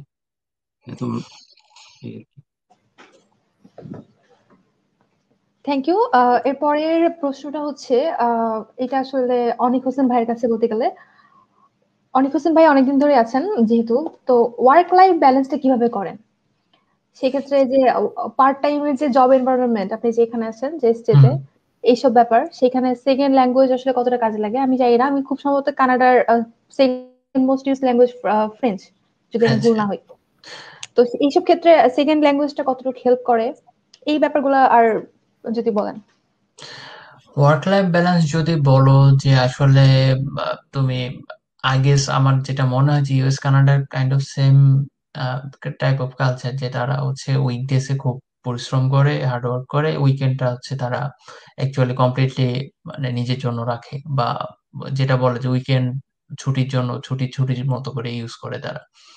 তো এই হিসাবে যদি চিন্তা করো, আর এটাতে আমি পরে আসতেছি পার্ট টাইম কত, করার কথা যেটা বললাম, যে ফান্ডের স্টুডেন্টদের হচ্ছে পার্ট টাইম খুব কমই করতে হয় মানে খুব কম কেসই করতে হয়। তারপর যদি তুমি করতে চাও, এটা আসলে কান্ট্রি টু কান্ট্রি ভ্যারি করে। সো আমি কানাডারটা বলতে পারতেছি। কানাডারটা হচ্ছে বেসিক্যালি তিন তিন টাইপের স্ট্রিম আছে। একটা হচ্ছে আন্ডারগ্রেড স্ট্রিম যারা আন্ডারগ্রেড পড়তে আসে। আর একটা হচ্ছে এম ইঞ্জিনিয়ারিং স্ট্রিম যেটা হচ্ছে বেসিক্যালি উইদাউট থিসিস যেটা ইঞ্জিনিয়ার মাস্টার্স যেটা। আর আরেকটা হচ্ছে thesis based masters and PhD তো তিনটা স্ট্রিমের মধ্যে হচ্ছে থিসিস বেসড আগে বলি। থিসিস বেসড স্টুডেন্টের জন্য কানাডার জন্য লিগাল লিমিট হচ্ছে উইকলি টোয়েন্টি আওয়ার্স তুমি বাইরে কাজ করতে পারবা। মানে পার্ট টাইম হোক বা যেই হোক, তুমি উইকলি টোয়েন্টি আওয়ার্স বাইরে কাজ করতে পারবা। মানে তোমার স্টাডি পারমিটের রুল অনুযায়ী। আর বাকি দুইটার জন্য, বাকি দুইটা স্ট্রিমের জন্য তুমি হচ্ছে টোয়েন্টি আওয়ার্স বাইরে করতে পারবা। শুধু একটাই এক্সেপশন সেটা হচ্ছে সামারে আমাদের ইউনিভার্সিটি গুলাতে কোনো কোর্স থাকে না। তো সামার টার্মটাতে তুমি হচ্ছে ফুল টাইম যখন তোমার কোনো কোর্স থাকবে না মানে এম ইঞ্জিনিয়ারিং এবং আন্ডার স্টুডেন্টের জন্য, তখন তুমি হচ্ছে full time that means forty hours per week week হচ্ছে তুমি বাইরে কাজ করতে পারবা। আর থিসিস বেস স্টুডেন্টের জন্য হচ্ছে টোয়েন্টি আওয়ার্সটাও বের করা একটু টাফ হয়ে যায় নিজের একাডেমিয়াতে সময় দেওয়ার পরে রিসার্চে সময় দেওয়ার পরে বাইরে টাফ হয়ে যায়। তুমি এখন এটা ডিপেন্ড করবে তুমি আসলে কতটুক প্রেশার নিতে পারবা বা পরিশ্রম করতে পারবে এটার উপর ডিপেন্ড করে। তো আমি মনে হয় যে যদি পড়তে আসো পড়াশোনাটাকে ফোকাস করা উচিত তারপরেও বাকিটা পরে হচ্ছে তুমি পার্ট টাইমের দিকে ফোকাস করতে পারবা। জব লাইফ তোমার পড়াশোনা পরেও আসবে। তো আমি মনে করি যে যতদিন তুমি স্টুডেন্ট আছো স্টুডেন্ট লাইফটাকে এনজয় করো হ্যাঁ ঘোরাঘুরি করো আমি যেটা করি আমি শুরুতে বলতে ভুলে গেছি যে আমি হায়ার স্টাডি মোটিভেশনটা কি ছিল সেকেন্ডারি মোটিভেশন ছিল আমি প্রচুর ঘোরাঘুরি করব আমার নতুন জায়গায় যাইতে অনেক ভালো লাগে। তো এইটা আমার একটা মোটিভেশন ছিল যে আমি যেটা করতেছি এখন ঘোরাঘুরি করতেছি। তো এইটা হচ্ছে নতুন নতুন। আর নতুন নতুন আসলে আলবার্টাতে বেসিক্যালি হচ্ছে পাহাড় আর লেকচারে দেখার কিছু নাই সাগরটারই মিস করি। কোভিড না থাকলে দেশে আমার আসলে একটু বিচে যাওয়ার ইচ্ছে ছিল। এখন এখানে বিচটারই মিস করি। তাছাড়া হচ্ছে মোটামুটি আমি যেখানে যেমন অপরচুনিটি পাই, যেদিক দিয়ে অপরচুনিটি পাই অ্যাডভেঞ্চার স্পোর্ট বড় যাই হোক না কেন, সবই করার ট্রাই করে। আমার মনে হয় যে এটা এটা ইম্পর্টেন্ট তোমার হচ্ছে তুমি ওয়ার্কের যখন প্রেশার থাকবা উইকেন্ডটাকে এনজয় করা বা হচ্ছে কিছু ট্যুর দেওয়া বা নিজের জন্য কিছু সময় রাখা ইম্পর্টেন্ট তোমার হচ্ছে একটা মেন্টাল স্টেবিলিটি রাখার জন্য। খুব হেল্প করে যে কি করতেছো। কারণ তুমি যতদিন স্টুডেন্ট আছো যতদিন নিয়ে আছো ততদিনই তো এসব করতে পারবে তাই না? তুমি পরে আর কখন করবা? এখন যদি না করো। জি ভাই। মুনতাসির মাহাদি ভাই যদি বলতেন কিছু ওয়ার্ক লাইফ ব্যালেন্সের ব্যাপারে। আচ্ছা ইউএস এর রিলেটেড আমি একটা ইনফরমেশন দেই সেটা হচ্ছে ইউএসএ আমরা স্টুডেন্ট ভিসা এফ ওয়ান ভিসায় আসি। তো এফ ওয়ান ভিসায় অফ ক্যাম্পাসে জব করাটা ইলিগাল তো অফ ক্যাম্পাসে জব করার সুযোগ নেই। সেই ক্ষেত্রে অন ক্যাম্পাসে করা যেতে পারে। অন ক্যাম্পাসে লাইব্রেরিতে বা বিভিন্ন অফিসে অনেক সময় পার্ট টাইম স্টুডেন্টদেরকেও রিক্রুট করা হয়। এটা করা যেতে পারে। তবে গ্র্যাজুয়েট রিসার্চ অ্যাসিস্ট্যান্ট অথবা গ্র্যাজুয়েট টিচিং অ্যাসিস্ট্যান্ট হিসেবে হ্যাঁ টিচিং অ্যাসিস্ট্যান্ট হিসেবে যদি কেউ কাজ করে তাহলে আসলে এক্সট্রা আর অন্য কোথাও কাজ করার আমার মনে হয় কারও মানে স্টুডেন্টদের জন্য টাফ হয়ে যায় আর কি এবং সেটা হয়তো বা নেসেসারি না আর কি অনেক বেশিরভাগ সময় হয়তো বা সেটা নেসেসারি না দরকার হয় না সেটা করার আর কি এবং জিআরএ বা জিটি এর জন্য যে কাজগুলো থাকে সেগুলো আসলে অনেক সময় দেওয়ার দরকার আছে। তো সেখানে ফোকাস করাটা আমার মনে হয় যে বেটার আর কি মুন্তাসির মাহাদি ভাইকে ধন্যবাদ। জাহিদ চৌধুরী ভাই মনে কিছু বলতে চাচ্ছেন? না ওইটাই। আসলে মানে ইউএসএ তে তো মানে পার্ট টাইম জব আসলে ইলিগ্যাল যারা স্টুডেন্ট বিষয়ে যায়। তো সেক্ষেত্রে আসলে আসলে মানে আমি অনেক সিনিয়রদের সাথে কথা বলেছি যে যে আসলে এটা যে ইলিগ্যাল এখন এটা আসলে তো একটু মানে আমরা অন্যান্য কান্ট্রিজে ওরা তো পার্ট টাইম জব করতে পারতেছে, ওদের বাট আপনারা যে পারতেছেন না, এটা কি খারাপ লাগে কিনা? তখন উনি বলছে যে, এখানে তো আসলে ল্যাব ওয়ার্ক এবং করে বা প্রফেসরের কাজ করেই তো আসলে অন্য সময় আসলে পাওয়া যায় না খুব একটা। তো ওইটা ওইটা, ওইটার ব্যাপারেই আসলে ফোকাস থাকা উচিত। এমনকি আমাদের ওই ওই কাজটাই আসলে জরুরি এবং এরপরে আসলে অন্য কাজ করার তেমন সুযোগ অনেকের ক্ষেত্রেই থাকে না, যেটা মুন্তাসির বলল। এমনকি এটাই আমাদের জন্য এনাফ যে আমরা যদি জিআরএ বা জিটিএ যে অ্যাসিস্ট্যান্টশিপ পাই, তো সেই সেই কাজটা যদি আমরা ঠিক মতো করি, তাহলে সেটাই আমাদের আসলে আর পার্ট টাইম করার সুযোগ, অনেক অনেক ক্ষেত্রে সুযোগও থাকে না বা প্রয়োজনও হয় না। তো সেক্ষেত্রে আসলে এটা নিয়ে তেমন কিছু বলার নেই। তো এই। আচ্ছা। এরপরে যে আমার আসলে এটা শেষ প্রশ্ন, প্রশ্নটা একটু কন্ট্রোভার্সিয়াল আমি আগে বলে নিচ্ছি। তো আমার যে প্রশ্নটা ছিল, সেটা হচ্ছে যেহেতু বাইরের দেশগুলোতে প্রচুর ইন্টারন্যাশনাল স্টুডেন্ট রিক্রুট করা হয়, তো সেই ক্ষেত্রে আসলে ইনসাইড অ্যান্ড আউটসাইড একাডেমিক এবং সব মিলে লোকাল পিপল হোক আর প্রফেসর বা অন্য ল্যাবমেট বা অফিস স্টাফ যেটাই হোক তারা আসলে ইন্টারন্যাশনাল স্টুডেন্টদেরকে কীভাবে ডিল করে বা ঠিক কতটুকু ফ্রেন্ডলি আচরণ করে? বা এই ক্ষেত্রে যদি কোনো মানে সমস্যা ফেস করে কেউ এটা তার একাডেমিতে কি পরিমাণ বিরূপ প্রভাব ফেলতে পারে? অনেক। আচ্ছা এই জিনিসটা হচ্ছে ডেফিনেটলি যদি বলতে চাই, আসলে ডেফিনেটিভলি কিছু বলা যাবে না। কারণ আমরা আমরা যদি দেশের কথা চিন্তা করি, আমরা যদি রিজন বেসিসে বলতে চাই, আমরা কি বলতে পারব যে হচ্ছে ঠিক আছে যে এই রিজন থেকে আসছে বা হচ্ছে এই রিজনের মানুষ, এই রিজনে ভালো বা এই এই জায়গাটা থাকার জন্য ভালো। মানে কোনো ডেফিনেটিভ অ্যান্সার নেই। সবকিছুই হচ্ছে তোমার পার্সপেক্টিভ উপর ডিপেন্ড করতেছে। আর এমনিতে প্রফেসররা নর্মালি খুবই হেল্পফুল হয়। সার্টেন কিছু সিচুয়েশন থাকবে। দেখো মানুষ তো আর সবাই সমান হয় না। তো তুমি যদি সবাইকে সেম স্কেলে মাপতে যাও, আসলে সম্ভব না। বাট যদি মেজরিটি কনসিডার করো মেজরিটি ডেফিনেটলি ভালো এবং ডেফিনেটলি কোনো সমস্যা হয় না। বাট সার্টেন কিছু সিচুয়েশন তো অ্যারাইজ করেই।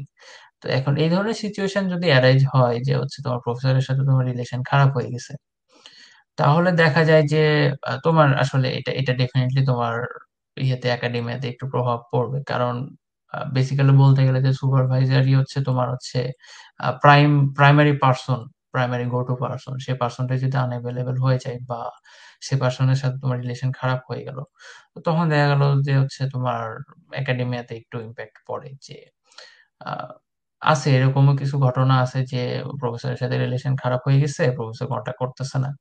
বা অনেকে হচ্ছে দেখা যায় যে সময় দিতে পারতেছে না, এই ধরনের ঘটনা ঘটে। আর এমনি ফ্রেন্ডলিনেস এর দিক থেকে যদি চিন্তা করো কমিউনিটি বা সোশ্যাল কালচারের দিক থেকে যদি চিন্তা করো, আমি আসলে কোনো প্রবলেম ফেস করি নাই, আমাকে সব জায়গায় ওয়েলকামিং মনে হয়েছে এবং খুব ভালো লাগে জিনিসগুলো। ওরা হচ্ছে খুব ওয়েলকামিং এবং খুব মানে কি বলব যে সুন্দর করে তোমার সাথে কথা বলবে বা ইয়ে করবে। তুমি রাস্তা দিয়ে হেঁটে গেলেও যদি তাকায় থাকো হ্যালো বলবে। মানে জিনিসগুলো ভালো লাগে। তোমাকে হচ্ছে আনওয়েলকামিং ফিল আমার এখন পর্যন্ত হয় নাই অ্যাটলিস্ট পার্সোনাল এক্সপিরিয়েন্স থেকে বলতেছি। আর তোমার আনওয়েলকামিং ফিলটা যে তুমি কোথায় করবা দেশের মধ্যে নিজের ঘরে আনওয়েলকামিং ফিল করতে পারো। তো এটা আসলে বলা যায় না যে কি হবে না হবে এটা আসলে বলা যায় না। আচ্ছা অনেক একটা খুব ভালো মানে খুব ভালো একটা পার্সপেক্টিভ বলছে। আমি একটু অনেক যেই জিনিসগুলো বলছে আমি একটু এর বাইরে এসে একটা জিনিস বলব। একটু একটু স্ট্রেট ফরওয়ার্ড বলতে চাই আর কি। সেটা হচ্ছে যে যে আসলে আমরা বাংলাদেশে বাংলাদেশে থেকে বাংলাদেশে থেকে আসলে আমরা আমাদের নিজেদের মাইন্ডসেটটাও আসলে অনেকটা বলব যে অনেকটা মানে মানে ব্যাকওয়ার্ড আর কি আমরা চিন্তা করি। যেমন আমরা হয়তো বা কোন একটা মানে ফ্রেন্ডকে আমরা তার স্কিন কালার নিয়ে তাকে আমি, আমরা ছোট করে কথা বলি, অথবা কারও হয়তো বা রেজাল্ট খারাপ, তাকে নিয়ে আমরা ছোট করে কথা বলি, অথবা মানে যে কোনো কিছু, আমরা কিন্তু অনেক এই কাজগুলো কিন্তু করি। এবং এটা হয়তো বা আমরা ফ্রেন্ড দেখে আমরা অনেক কিছু করি, যেটা হয়তো বা আরেকজন ফ্রেন্ড হয়তো বা মেনে নেয় সেই জিনিসটা খুব নর্মাল ভাবেই নেয়। কিন্তু আসলে, আমার কাছে মনে হয় যে মানুষ হিসেবে প্রত্যেকটা মানুষকেই সম্মান করা উচিত, বা প্রত্যেকটা মানুষকেই তার মানে কাকু, কাউকে আসলে তার তার কোন অ্যাপিয়ারেন্স নিয়ে অথবা তার মানে যে কোনো ক্যারেক্টারিস্টিক নিয়ে কাউকে ছোট করা উচিত না। তো এই এই যে মাইন্ডসেটটা এই মাইন্ডসেটটা আসলে আমাদের আমাদের নিজেদের ঠিক করা উচিত এই জন্য যে আমরা দেশের বাইরে যেখানেই যাই ইউএস কানাডা বা যে কোনো কান্ট্রিতে আমরা দেখব যে মাল্টিকালচারাল একটা সোসাইটি এখানে আফ্রিকান থাকবে আফ্রিকান ইন্ডিয়ান চাইনিজ আমেরিকান হ্যাঁ বিভিন্ন কান্ট্রির মানুষজন থাকবে। সো মানে এটা খুবই খুবই মানে এক্সপেক্টেড যে আসলে মাল্টিকালচারাল একটা সোসাইটিতে এখানে সবাইকে সম্মান করা হ্যাঁ এটা মানে আমাদের সাইড থেকে এটা উচিত যে আমরা যেন মাইন্ডসেটটা এরকম রাখি যে আমরা সবাইকে আমরা মানুষ হিসেবে যতটুকু সম্মান দেওয়া উচিত সেটুকু দিচ্ছে কিনা। এবং এখানে আমি এখন পর্যন্ত আমি যেটা দেখছি যে আমরা নর্মালি হয়তো বা এতটুকু সৌজন্য আমরা প্রকাশ করি না, সেটাই আমাদের কাছে নর্মাল আমাদের কালচারাল কালচার অনুযায়ী। কিন্তু এখানে আসলে প্রত্যেকটা জায়গায় অনেক অনেক বেশি সৌজন্য প্রকাশ করা হয়। সৌজন্যের প্রকাশটা অনেক বেশি। যে হয়তো আমি দোকানে কিছু কিনতে গেছি অথবা মানে খুবই ছোটখাটো বিষয় হয়তো আমরা থ্যাংক ইউ বলতেছি। মানে এখানে কালচারটাই এরকম যে আমরা সবাইকে মানে অ্যাপ্রিসিয়েট করব বা খুব মানে ওয়েলকামিং একটা অ্যাটিটিউড আর কি। এবং সেটা না করাটাই আসলে একটা অসৌজন্য একটা আচরণ। যেটা হয়তো আমরা আমরা বাংলাদেশে থাকলে যে জিনিসটা হয়তো আমরা মানে হয়তোবা সেটা আমরা মানে করতে হবে এরকম মনেও করি না আর কি বা করা উচিত এটা মনে করি না। কিন্তু এখানে হয়তো বা সেইটুকু না করাটা একটা অসৌজন্যতা। তো হ্যাঁ, আমার মনে হয় যে এই জিনিসগুলা হ্যাঁ এটাই আর কি যে অনেকে হয়তো বা এই সিমিলার এই এক্সপিরিয়েন্স জিনিসগুলো আমিও ফেস করছি আসলে যে তোমার হচ্ছে মিনিমাম কার্টেসি আমরা বাংলাদেশেও ফলো করি না যেটা হচ্ছে এখানে অনেক অনেক অনেক কার্টেসি ফলো করি। তুমি ছোট্ট একটা জিনিস করবা দোকানে নিয়ে যাবে তোমাকে তুমি জাস্ট থ্যাংক ইউ এবং হ্যাভ এ গ্রেট ডে এটা এটা ছাড়া দেখবা যে কোনো কনভারসেশন এন্ড হচ্ছে না। তো এই ধরনের মানে জিনিসগুলোতে খুবই ওয়েলকাম আর মাল্টিকালচারাল কমিউনিটির কথা মধ্যে যেটা বলতেছিল যে সেটা হচ্ছে যে দু একজনের সাথে কথা বলার সুযোগ হয়েছে। এখন যেহেতু কোভিড এন্ড স্টাফ ওরকম ভাবে হয়তো বা বাইরে বের হওয়া হয়নি বা মিশা হয়নি বাট সবাই বলতে গেলে মেজরিটি ভালো। তারপরে যদি বলো যে, আমরা কি সবাই ভালো? আমাদের যদি একটা সার্টেন গ্রুপের সাথে মিশে সবাই কি ভালো হয়? বা সবার সাথে মিশে কি মজা পাওয়া যায়? যায় না। এটা এটা সব জায়গায় থাকবে যে, তুমি সবার সাথে ই করে বা ই করে ইন্টিমেসি তোমার বিল্ড আপ হবে না। But most of the cases বলতে গেলে almost all of the cases সবাই ওয়েলকামিং হয় এবং সবাই ভালোই হয় আর কি। ওরকম ভাবে আলাদা করে করার কিছু নেই। যদি কম্পারেটিভলি বলো যে ফ্রেন্ডলিনেস এর দিক থেকে হসপিটালিটির দিক থেকে গুড ডেফিনেটলি গুড এটা অনেক ভালো কালচারের দিকে। মুন্তাসির শেষ করলাম। সরি ফর ইন্টারাপ্টিং না, ঠিকই আছে। অনেক অনেক যেটা আমি শেষ, আমার মানে আমার এক্সপিরিয়েন্সটা বললাম আর কি। অনেকও মানে আমার মনে হয় সিমিলার এক্সপিরিয়েন্স ফেস করতে এটাই। আমার মনে হয় আমাদের মাইন্ডসেটটা ঠিক করা উচিত। এখানে এখানে আমি বলব যে মানুষের মাইন্ডসেটটা আমাদের চেয়ে অনেকটা বেটার আর কি আমরা যে ধরনের চিন্তা করি তার চেয়ে অনেক এই এই দিক থেকে বেটার এই দিক থেকে বেটার ধন্যবাদ আমিও আসলে সেম কথাটাই বলব।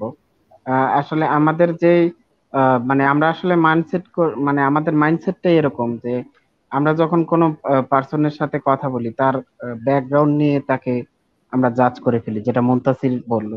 এটা আসলে ঠিক না মানে আমাদের হ্যাঁ আমরা আসলে মাল্টিকালচারাল একটা এনভায়রনমেন্টে কাজ করতেছি।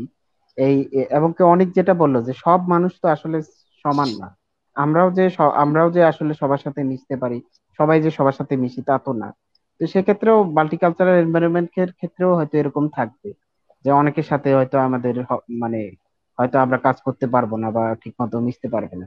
কিন্তু তাই বলে আমরা যদি ওইটা মানে মানে মানে আমাদের মাইন্ডসেটটা যদি আমরা এরকম রাখি যে না, ওই ওই ওই ধরনের লোকের সাথে আমাদের মেশা যাবে না বা চলা যাবে না তাহলে সেটা আসলে ঠিক না আর কারণ আমরা যতদিন আমাদের মাইন্ডটা চেঞ্জ করতে না পারব, ততদিন আসলে আমাদের সোসাইটিটা আসলে চেঞ্জ হবে না। মানে আমরা আসলে সবসময়, আমরা যদি কাউকে দেখি তার ব্যাকগ্রাউন্ড বা তার ইয়ে নিয়ে, গায়ের রোগ বা তার দেশ ইত্যাদি নিয়ে আমরা যদি জাজ করি, তাহলে আমাদের এই জিনিসটা আসলে কখনো সলভ এই প্রবলেমটা আমাদের কখনো সলভ হবে না।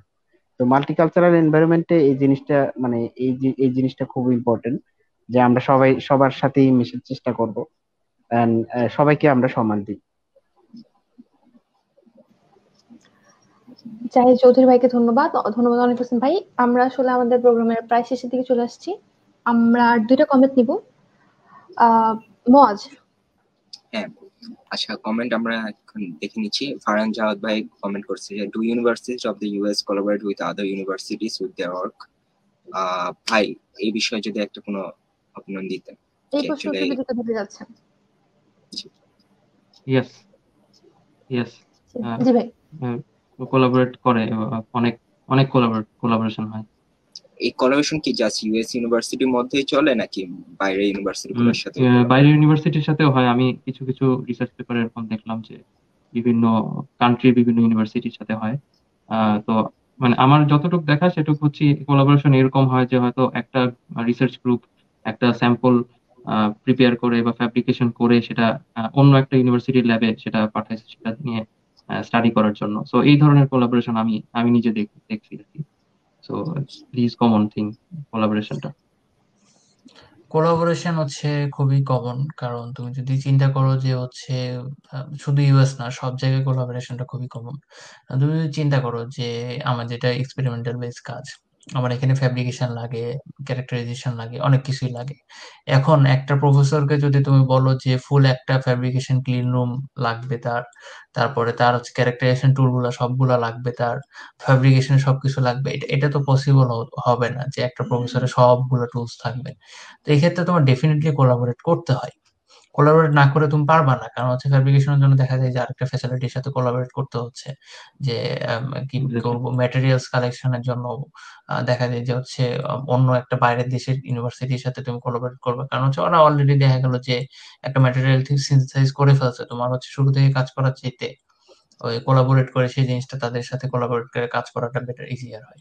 এবং এটা এটা খুবই কমন থিং দেখা যায় যে সবারই কারও না কারোর সাথে কোলাবোরেশন আছে। নাই খুব কমই থাকে।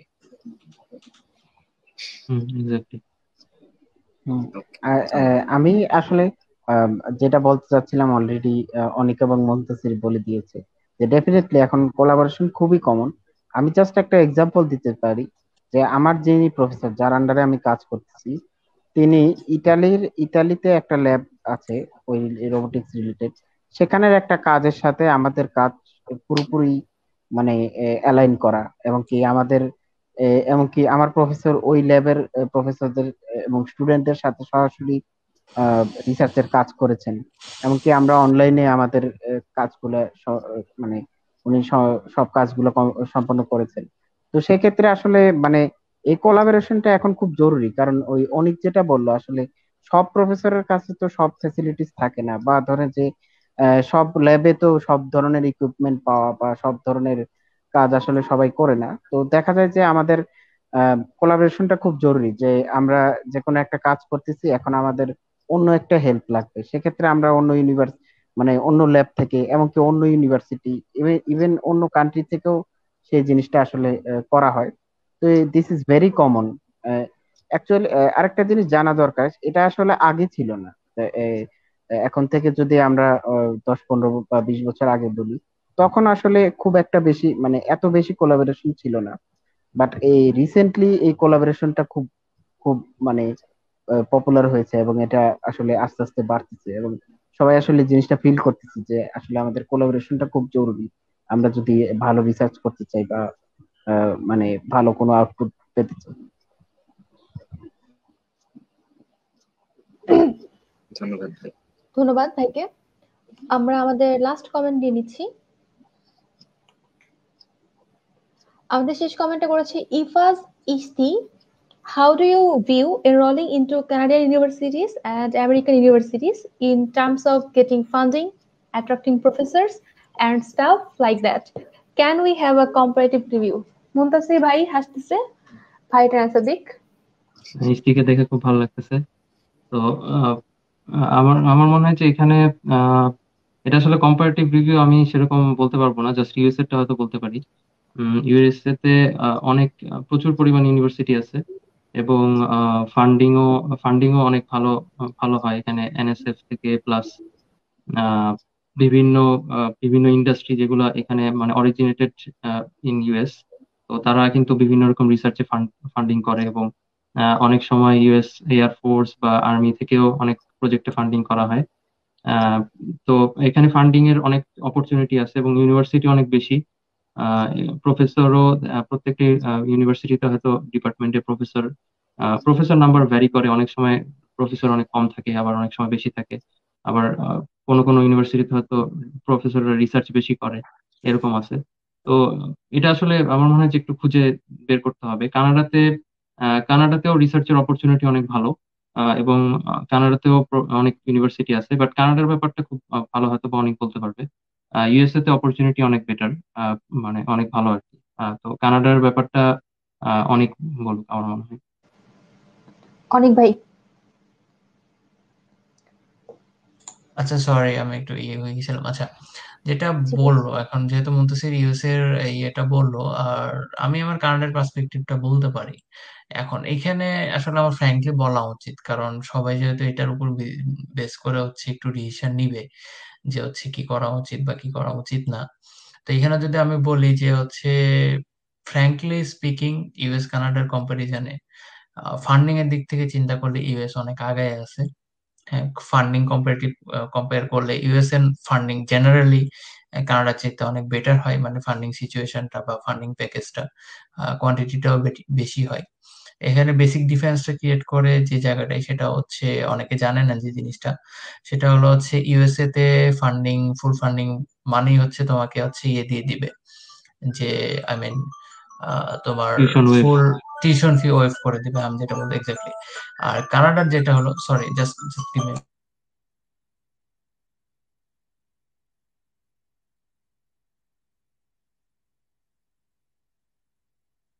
আচ্ছা কানাডার যে সিচুয়েশন সেটা হচ্ছে কানাডা টিউশন ফিটা ওয়েভ থাকে না ফান্ডিং প্যাকেজে তোমার ফান্ডিং যেটা প্রোভাইড করা হবে সেইখান থেকে তুমি তুমি রেসপন্সিবল হচ্ছে টিউশন ফি পে করার জন্য। সো এই জিনিসটা হচ্ছে খুব একটা বড় ধরনের ডিফারেন্স ক্রিয়েট করে ফেলে যে ওভারঅল বাট খুব একটা সমস্যা হয় বলে আমি মনে করি না। এটার, এটাই আসলে হচ্ছে মেইন ফ্যাক্ট যে বলতে গেলে ফুল ফান্ডিংই পাও বাট হচ্ছে একটু ডিফারেন্স আছে। তুমি যদি কানাডার মানে এটা আমি আসার পরে ফিল করতেছি জিনিসটা। যদি আমার ইউএসএ এর যারা পড়তেছে বা ইয়ে করতেছে, আমি যদি তাদের দিকে চিন্তা করি দেখা যায় যে হচ্ছে তারা দেখা যাচ্ছে যে একটু কম্পারেটিভলি কমফোর্টেবলি লিভ করতে পারতেছে, যেহেতু তাদের হাতে কিছু এক্সট্রা ফান্ড থাকতেছে। সেক্ষেত্রে দেখা যায় যে আমার একটু ইয়ে হচ্ছে। এটা নট অলওয়েজ ট্রু কারণ হচ্ছে ফান্ডিংও ভ্যারি করে ডিপার্টমেন্ট টু ডিপার্টমেন্ট ভ্যারি করে ইউনিভার্সিটি টু ইউনিভার্সিটি ভ্যারি করে। আর হচ্ছে দেখা যায় যে ইন্ডাস্ট্রি প্রোভাইডেড ফান্ডিং বলে একটু বেশি হয়। তো অনেক কিছুর উপর ডিপেন্ডেন্ট বাট ওভারঅল তোমাকে মিনিমাম যেটা দেওয়া হবে অ্যাটলিস্ট মিনিমাম যেটা দেওয়া হবে দ্যাটস এনাফ ফর ইউ তো এটাই হলো কথা। আরেকটা জিনিস আমি অ্যাড করি সেটা হচ্ছে অ্যাকচুয়ালি ইউএস কানাডার অ্যাপ্লিকেশন প্রসেসটা অনেকটা সিমিলার এই কারণে আমার মনে হয় যে you can try both at the same time যেহেতু সিমিলার ডেফিনেটলি ধন্যবাদ অনু ভাই এবং মুতাসির ভাইকে। আচ্ছা আজকে আমরা অনেকগুলো টপিক নিয়ে যে আলোচনা করছি। এখন লাস্ট একটা প্রশ্ন হিসেবে যদি আমি বলি যে ভাই আপনাদের এখানে আজকে ওয়েবিনার সেশনটা অনেক জুনিয়ররা দেখতেছে ইনক্লুডিং মি আমি তো হোস্ট করতেছি। এখন আমাদের জন্য যদি আপনার কোনো সাজেশন থাকে আর টিপস থাকে যেগুলো আর কি আমরা কাজে লাগাতে পারি নেক্সট অবশ্যই প্লিজ শেয়ার করুন। ভাই। হ্যাঁ অবশ্যই। আসলে টিপস এন্ড সাজেশন যদি দিতে চাই, তাহলে জুনিয়রদের ক্ষেত্রে আমাদের প্রথম টিপস এন্ড সাজেশন আসলে প্রথমে হচ্ছে মাইন্ডসেট করা, যেটা আসলে আগে অলরেডি বলেছি। যে মাইন্ডসেট করতে হবে, যে হ্যাঁ আমরা, আমি আসলে হায়ার স্টাডিজ করব কিনা। অনেকের, অনেক এরকম হইতেই পারে যে অনেকে হয়তো হায়ার স্টাডিজ করতে আগ্রহী না। তো সে it's it's alright no problem but তুমি, যদি তোমার মাইন্ডসেট থাকে যে তুমি হায়ার স্টাডিজ করবা, তাহলে সেক্ষেত্রে তোমাকে অবশ্যই ওই ওই ওই রিলেটেড তোমার কাজ আগানো উচিত। নট নেসেসারিলি তোমার এখন থেকেই প্রিপারেশন নিতে হবে বা এখন থেকেই পাবলিকেশন বা জিআরই আইএলস এগুলোর জন্য পড়াশোনা করতে হবে। it, it's not necessary, but you have to know, you have to gather knowledge regarding the higher studies, যে হ্যাঁ আমি আসলে আমার গ্রাজুয়েশন কমপ্লিট করব, তারপরে আমি কীভাবে অ্যাপ্লাই করব, আমার আসলে কোন কোন সেমিস্টারে আমি যাব। তারপরে কোন কান্ট্রিতে যাব বা আমি কীভাবে জিনিসগুলো ইয়া করব, সেই ব্যাপারে আসলে নলেজ গ্যাদার করাটা জরুরি। সেক্ষেত্রে আমি বলব অবশ্যই অবশ্যই সিনিয়রদের সাথে কোলাবোরেশন করা উচিত। সবসময় সিনিয়রদের সাথে কথাবার্তা বলা উচিত এই ব্যাপারে। অবশ্যই তারা তো তোমাকে অনেক হেল্প করবে। অ্যান্ড আরেকটা জিনিস হচ্ছে যে আসলে সব অনেক অনেক কঠিন কথাবার্তা হয়ে গেছে এটাতে। একটু আসলে ইয়া পরে আসলে আমাদের আন্ডারগ্রেড লাইফটা আসলে একটু এনজয় করা উচিত। আমিও আমি অন্তত এটা মনে করি। কারণ গ্রাজুয়েট লাইফে অনেক ক্ষেত্রেই আমাদের মানে অনেকের ক্ষেত্রে, সবার ক্ষেত্রে না, অনেকের ক্ষেত্রে কাজের এত প্রেশার থাকে যে আসলে আমরা আমাদের লাইফে আর অন্য কোনো কিছু করার কোনো চিন্তা, চিন্তাই করে না। তো সেক্ষেত্রে আমি মনে করব যে এত প্রেশার আসলে মানে ওরকম ভাবে খুব বেশি প্রেশার না নিয়ে তোমরা আসলে মানে নলেজ গ্যাদার করো। তারপর যদি মনে করো যে, না, আমি এখন থেকে প্রিপারেশন নিব, তাহলে সেটাও করতে পারো। It's it's up to you আবার অনেকে অনেকে ভাবতে পারো যে, না, আমি আসলে আন্ডারগ্রেড শেষ করার সাথে সাথেই কোন একটা ইউনিভার্সিটির ডেডলাইন আমি ধরতে চাচ্ছি বা অ্যাপ্লাই করতে চাচ্ছি। তো সেক্ষেত্রে হয়তো তুমি টেস্ট স্কোর মানে যেগুলো টেস্ট আছে সেগুলো আগে আগে দেওয়ার কথা চিন্তা করতে পারো বা প্রিপারেশন নিতে পারো। বাট আন্ডারগ্রেডে আমি মনে করি যে, তুমি আসলে ইটস আপ টু ইউ তুমি তোমার লাইফটা এনজয় করো। তারপরে তুমি নলেজ গ্যাদার করো। First first gather knowledge before you move into something যে আমি আজকে সেকেন্ড ইয়ারে উঠলাম যে হ্যাঁ আমি হায়ার স্টাডিজ করব, এখনই জিআরই পড়া শুরু করে দিই কিন্তু আমার এখন, এখনও কোনো গোল সেট করি নেই যে বা আমি কোথায় অ্যাপ্লাই করব, কীভাবে করব, এগুলো সম্পর্কে আমার এখন আইডিয়া নেই। তো এটা আসলে, এটা এটা করার চেয়ে মানে এটা করব অবশ্যই, কিন্তু এর আগে হচ্ছে তোমার নলেজটা গ্যাদার করা জরুরি এমনকি সিনিয়রদের সাথে ডিসকাশন করবা যে কীভাবে আমরা তুমি আগাতে চাও বা কি কোন সেমিস্টারের থেকে তুমি মানে গ্রাজুয়েশন কমপ্লিট করার পর হায়ার স্টাডিজে যদি যেতে চাও তাহলে কখন থেকে সেটা শুরু করতে চাও? তো এটাই হচ্ছে আমার সাজেশন যে enjoy your life and then you just uh, uh, prepare for your higher studies. অনেক হোসেন ভাই। ছোট মেয়ে বেসিক্যালি বলে দিছে যে খুব বেশি সিরিয়াস হয়ে নার্ড হয়ে যাওয়ার চাইতে মনে হয় যে ব্যালেন্স করে চলা বেটার আবার এনজয় করতে বলছে, ভাই বলে যে, এমন না যে, পড়াশোনা বাদ দিয়ে এনজয় করব তা না। যে সার্টেন লিমিট পর্যন্ত এনজয় করব। কারণ আমি আমি মনে করি যে এনজয় প্লাস পড়াশোনা দুটো একসাথেই করা যায়। এবং যাইও। কিন্তু আমরা জাস্ট হচ্ছে, আহ কি বলব যে ভালোভাবে জিনিসগুলোকে ইউটিলাইজ করি না টাইমটাকে ইউটিলাইজ করি না দেখে দেখা যায় যে হচ্ছে আমাদের অনেকগুলো সময় নষ্ট হয়ে যায়। আর একটা মিনিমাম রেজাল্ট মেইনটেইন করা জরুরি। হ্যাঁ ওই যে আমি বলতেছিলাম যে হচ্ছে মিনিমাম রিকোয়ারমেন্ট একটা ফ্যাক্ট যত যাই হোক যতই বলুক যে হচ্ছে তুমি পারবা। বাট একটা মিনিমাম রিকোয়ারমেন্ট যদি আমি অ্যাপ্লাই করা রিকোয়ারমেন্টই মিট করতে না পারি তাইলে তো আমি যতই আমার নলেজ থাক আমার তো লাভ হবে না। এখানে আমি একটু ইন্টারাপ্ট করতে চাই ভাই সেটা হচ্ছে যে একটা বহুল প্রচলিত স্টেটমেন্ট আছে যে সিজিপিএ ডাজন্ট ম্যাটার এই স্টেটমেন্টের সত্যতা আসলে কতটুকু? সিজিপিএ ডাজন্ট ম্যাটার একই সাথে সত্য একই সাথে মিথ্যা। আপনি যেহেতু রিকোয়ারমেন্টের কথা বলতেছেন তো সেই ক্ষেত্রে হ্যাঁ, আমাদের so CGPA definitely does matters R your university matters in the sense যে তোমার অ্যালামনাইটা কেমন স্ট্রং ঠিক আছে দেখা যায় যে তোমার অ্যালামনাই স্ট্রং থাকার কারণে দেখা যায় যে সার্টেন কিছু ডিপার্টমেন্ট বা সার্টেন কিছু ইউনিভার্সিটির স্টুডেন্ট একটু বেশি আগায় যাচ্ছে। কেন আগায় যাচ্ছে? কারণ তারা হচ্ছে হেল্প পাচ্ছে বেশি। হ্যাঁ তাদের অ্যালামনাই আছে অলরেডি সো তারা রেফারেল পাচ্ছে বেশি। তো এগুলো আসলে বিটার ট্রুথ যে হয় বাট এমন না যে হচ্ছে তোমার এটা নিয়ে ইয়ে করতে হবে যে ডিসঅ্যাপয়েন্টেড হইতে হবে যে আমি তো ভাইয়া হচ্ছে আমার তো ভালো ইউনিভার্সিটি না আমার আমি কি ইয়ে করতে পারব? এটা না। বাট ছোটন ভাই যেটা বলো যে gather knowledge definitely gather knowledge তোমার নলেজ থাকলে ক্যাপাবিলিটি থাকলে তোমাকে আসলে কেউ আটকাইতে পারবে না। আর সিজিপিএ ডাজেন্ট ম্যাটার এটা এটা এটা কমপ্লিটলি ট্রু না। সিজিপিএ ডেফিনেটলি ডাজ ম্যাটার্স হ্যাঁ? কারণ এইখানে আমি একটা জিনিস বলি যে তুমি যখন একটা প্রফকে অ্যাপ্রোচ করবা বা কোনো একটা প্রোগ্রামে অ্যাপ্লাই করবা, তুমি যে ভালো স্টুডেন্ট তোমার যে ক্যাপাবিলিটিস আছে, এটা তুমি কি দিয়ে প্রুভ করবা? তোমাকে তো মনে করো আমি একটা প্রুফ আমার পার্সপেক্টিভ থেকে চিন্তা করো, আমি তোমাকে চিনি না। তুমি কমপ্লিটলি নতুন একটা স্টুডেন্ট কমপ্লিটলি ডিফারেন্ট একটা কান্ট্রি থেকে তুমি আমাকে অ্যাপ্রোচ করছ। এন্ড আমি তোমাকে জাজ করব কীভাবে? যে তুমি কতটুকু ক্যাপাবল আমি তোমার জাজ করব তোমার প্রোফাইল দেখে। এখন তোমার সিজিপিএ ভালো মানে কি? তুমি অনেক বেশি ইফোর্ট দিছো। হ্যাঁ তুমি অনেক বেশি হার্ড ওয়ার্ক করছ। যার ফলাফল স্বরূপ তোমার একটা কিছু রেজাল্ট আসছে।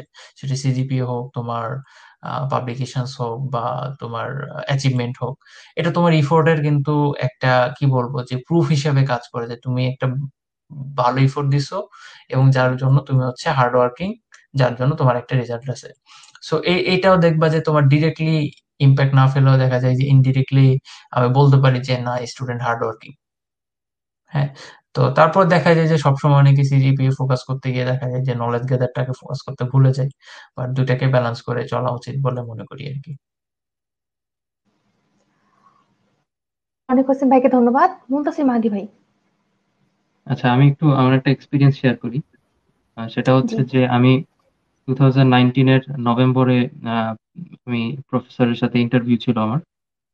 That was two thousand nineteen নভেম্বরে ইন্টারভিউ দেওয়ার পরে দেন ইন্টারভিউ মানে ইন্টারভিউতে professor he was very interested to take me as as research assistant so আমি অ্যাপ্লাই করলাম ডিসেম্বরের পনেরো তারিখে টু থাউজেন্ড নাইনটিনে দেন আমাকে দেন আমি প্রফেসরের সাথে আবার কন্টিনিউয়াসলি কন্ট্যাক্ট করলাম এবং উনি আমি মাঝখানে, আমি যখন অ্যাডমিশন রেজাল্টটা পেলাম যে আমি অ্যাডমিটেড সেটা সম্ভবত টু থাউজেন্ড টোয়েন্টির মার্চ। তো তখন প্রফেসর আমাকে বললেন যে আমি তো অ্যাকচুয়ালি অলরেডি স্টুডেন্ট নিয়ে নিছি, আমি এখন তোমাকে নিতে পারতেছি না। দো আমার তখন অ্যাডমিশন হয়েছে বাট মানে উনি তখন ফান্ডিং দিতে পারবেন না।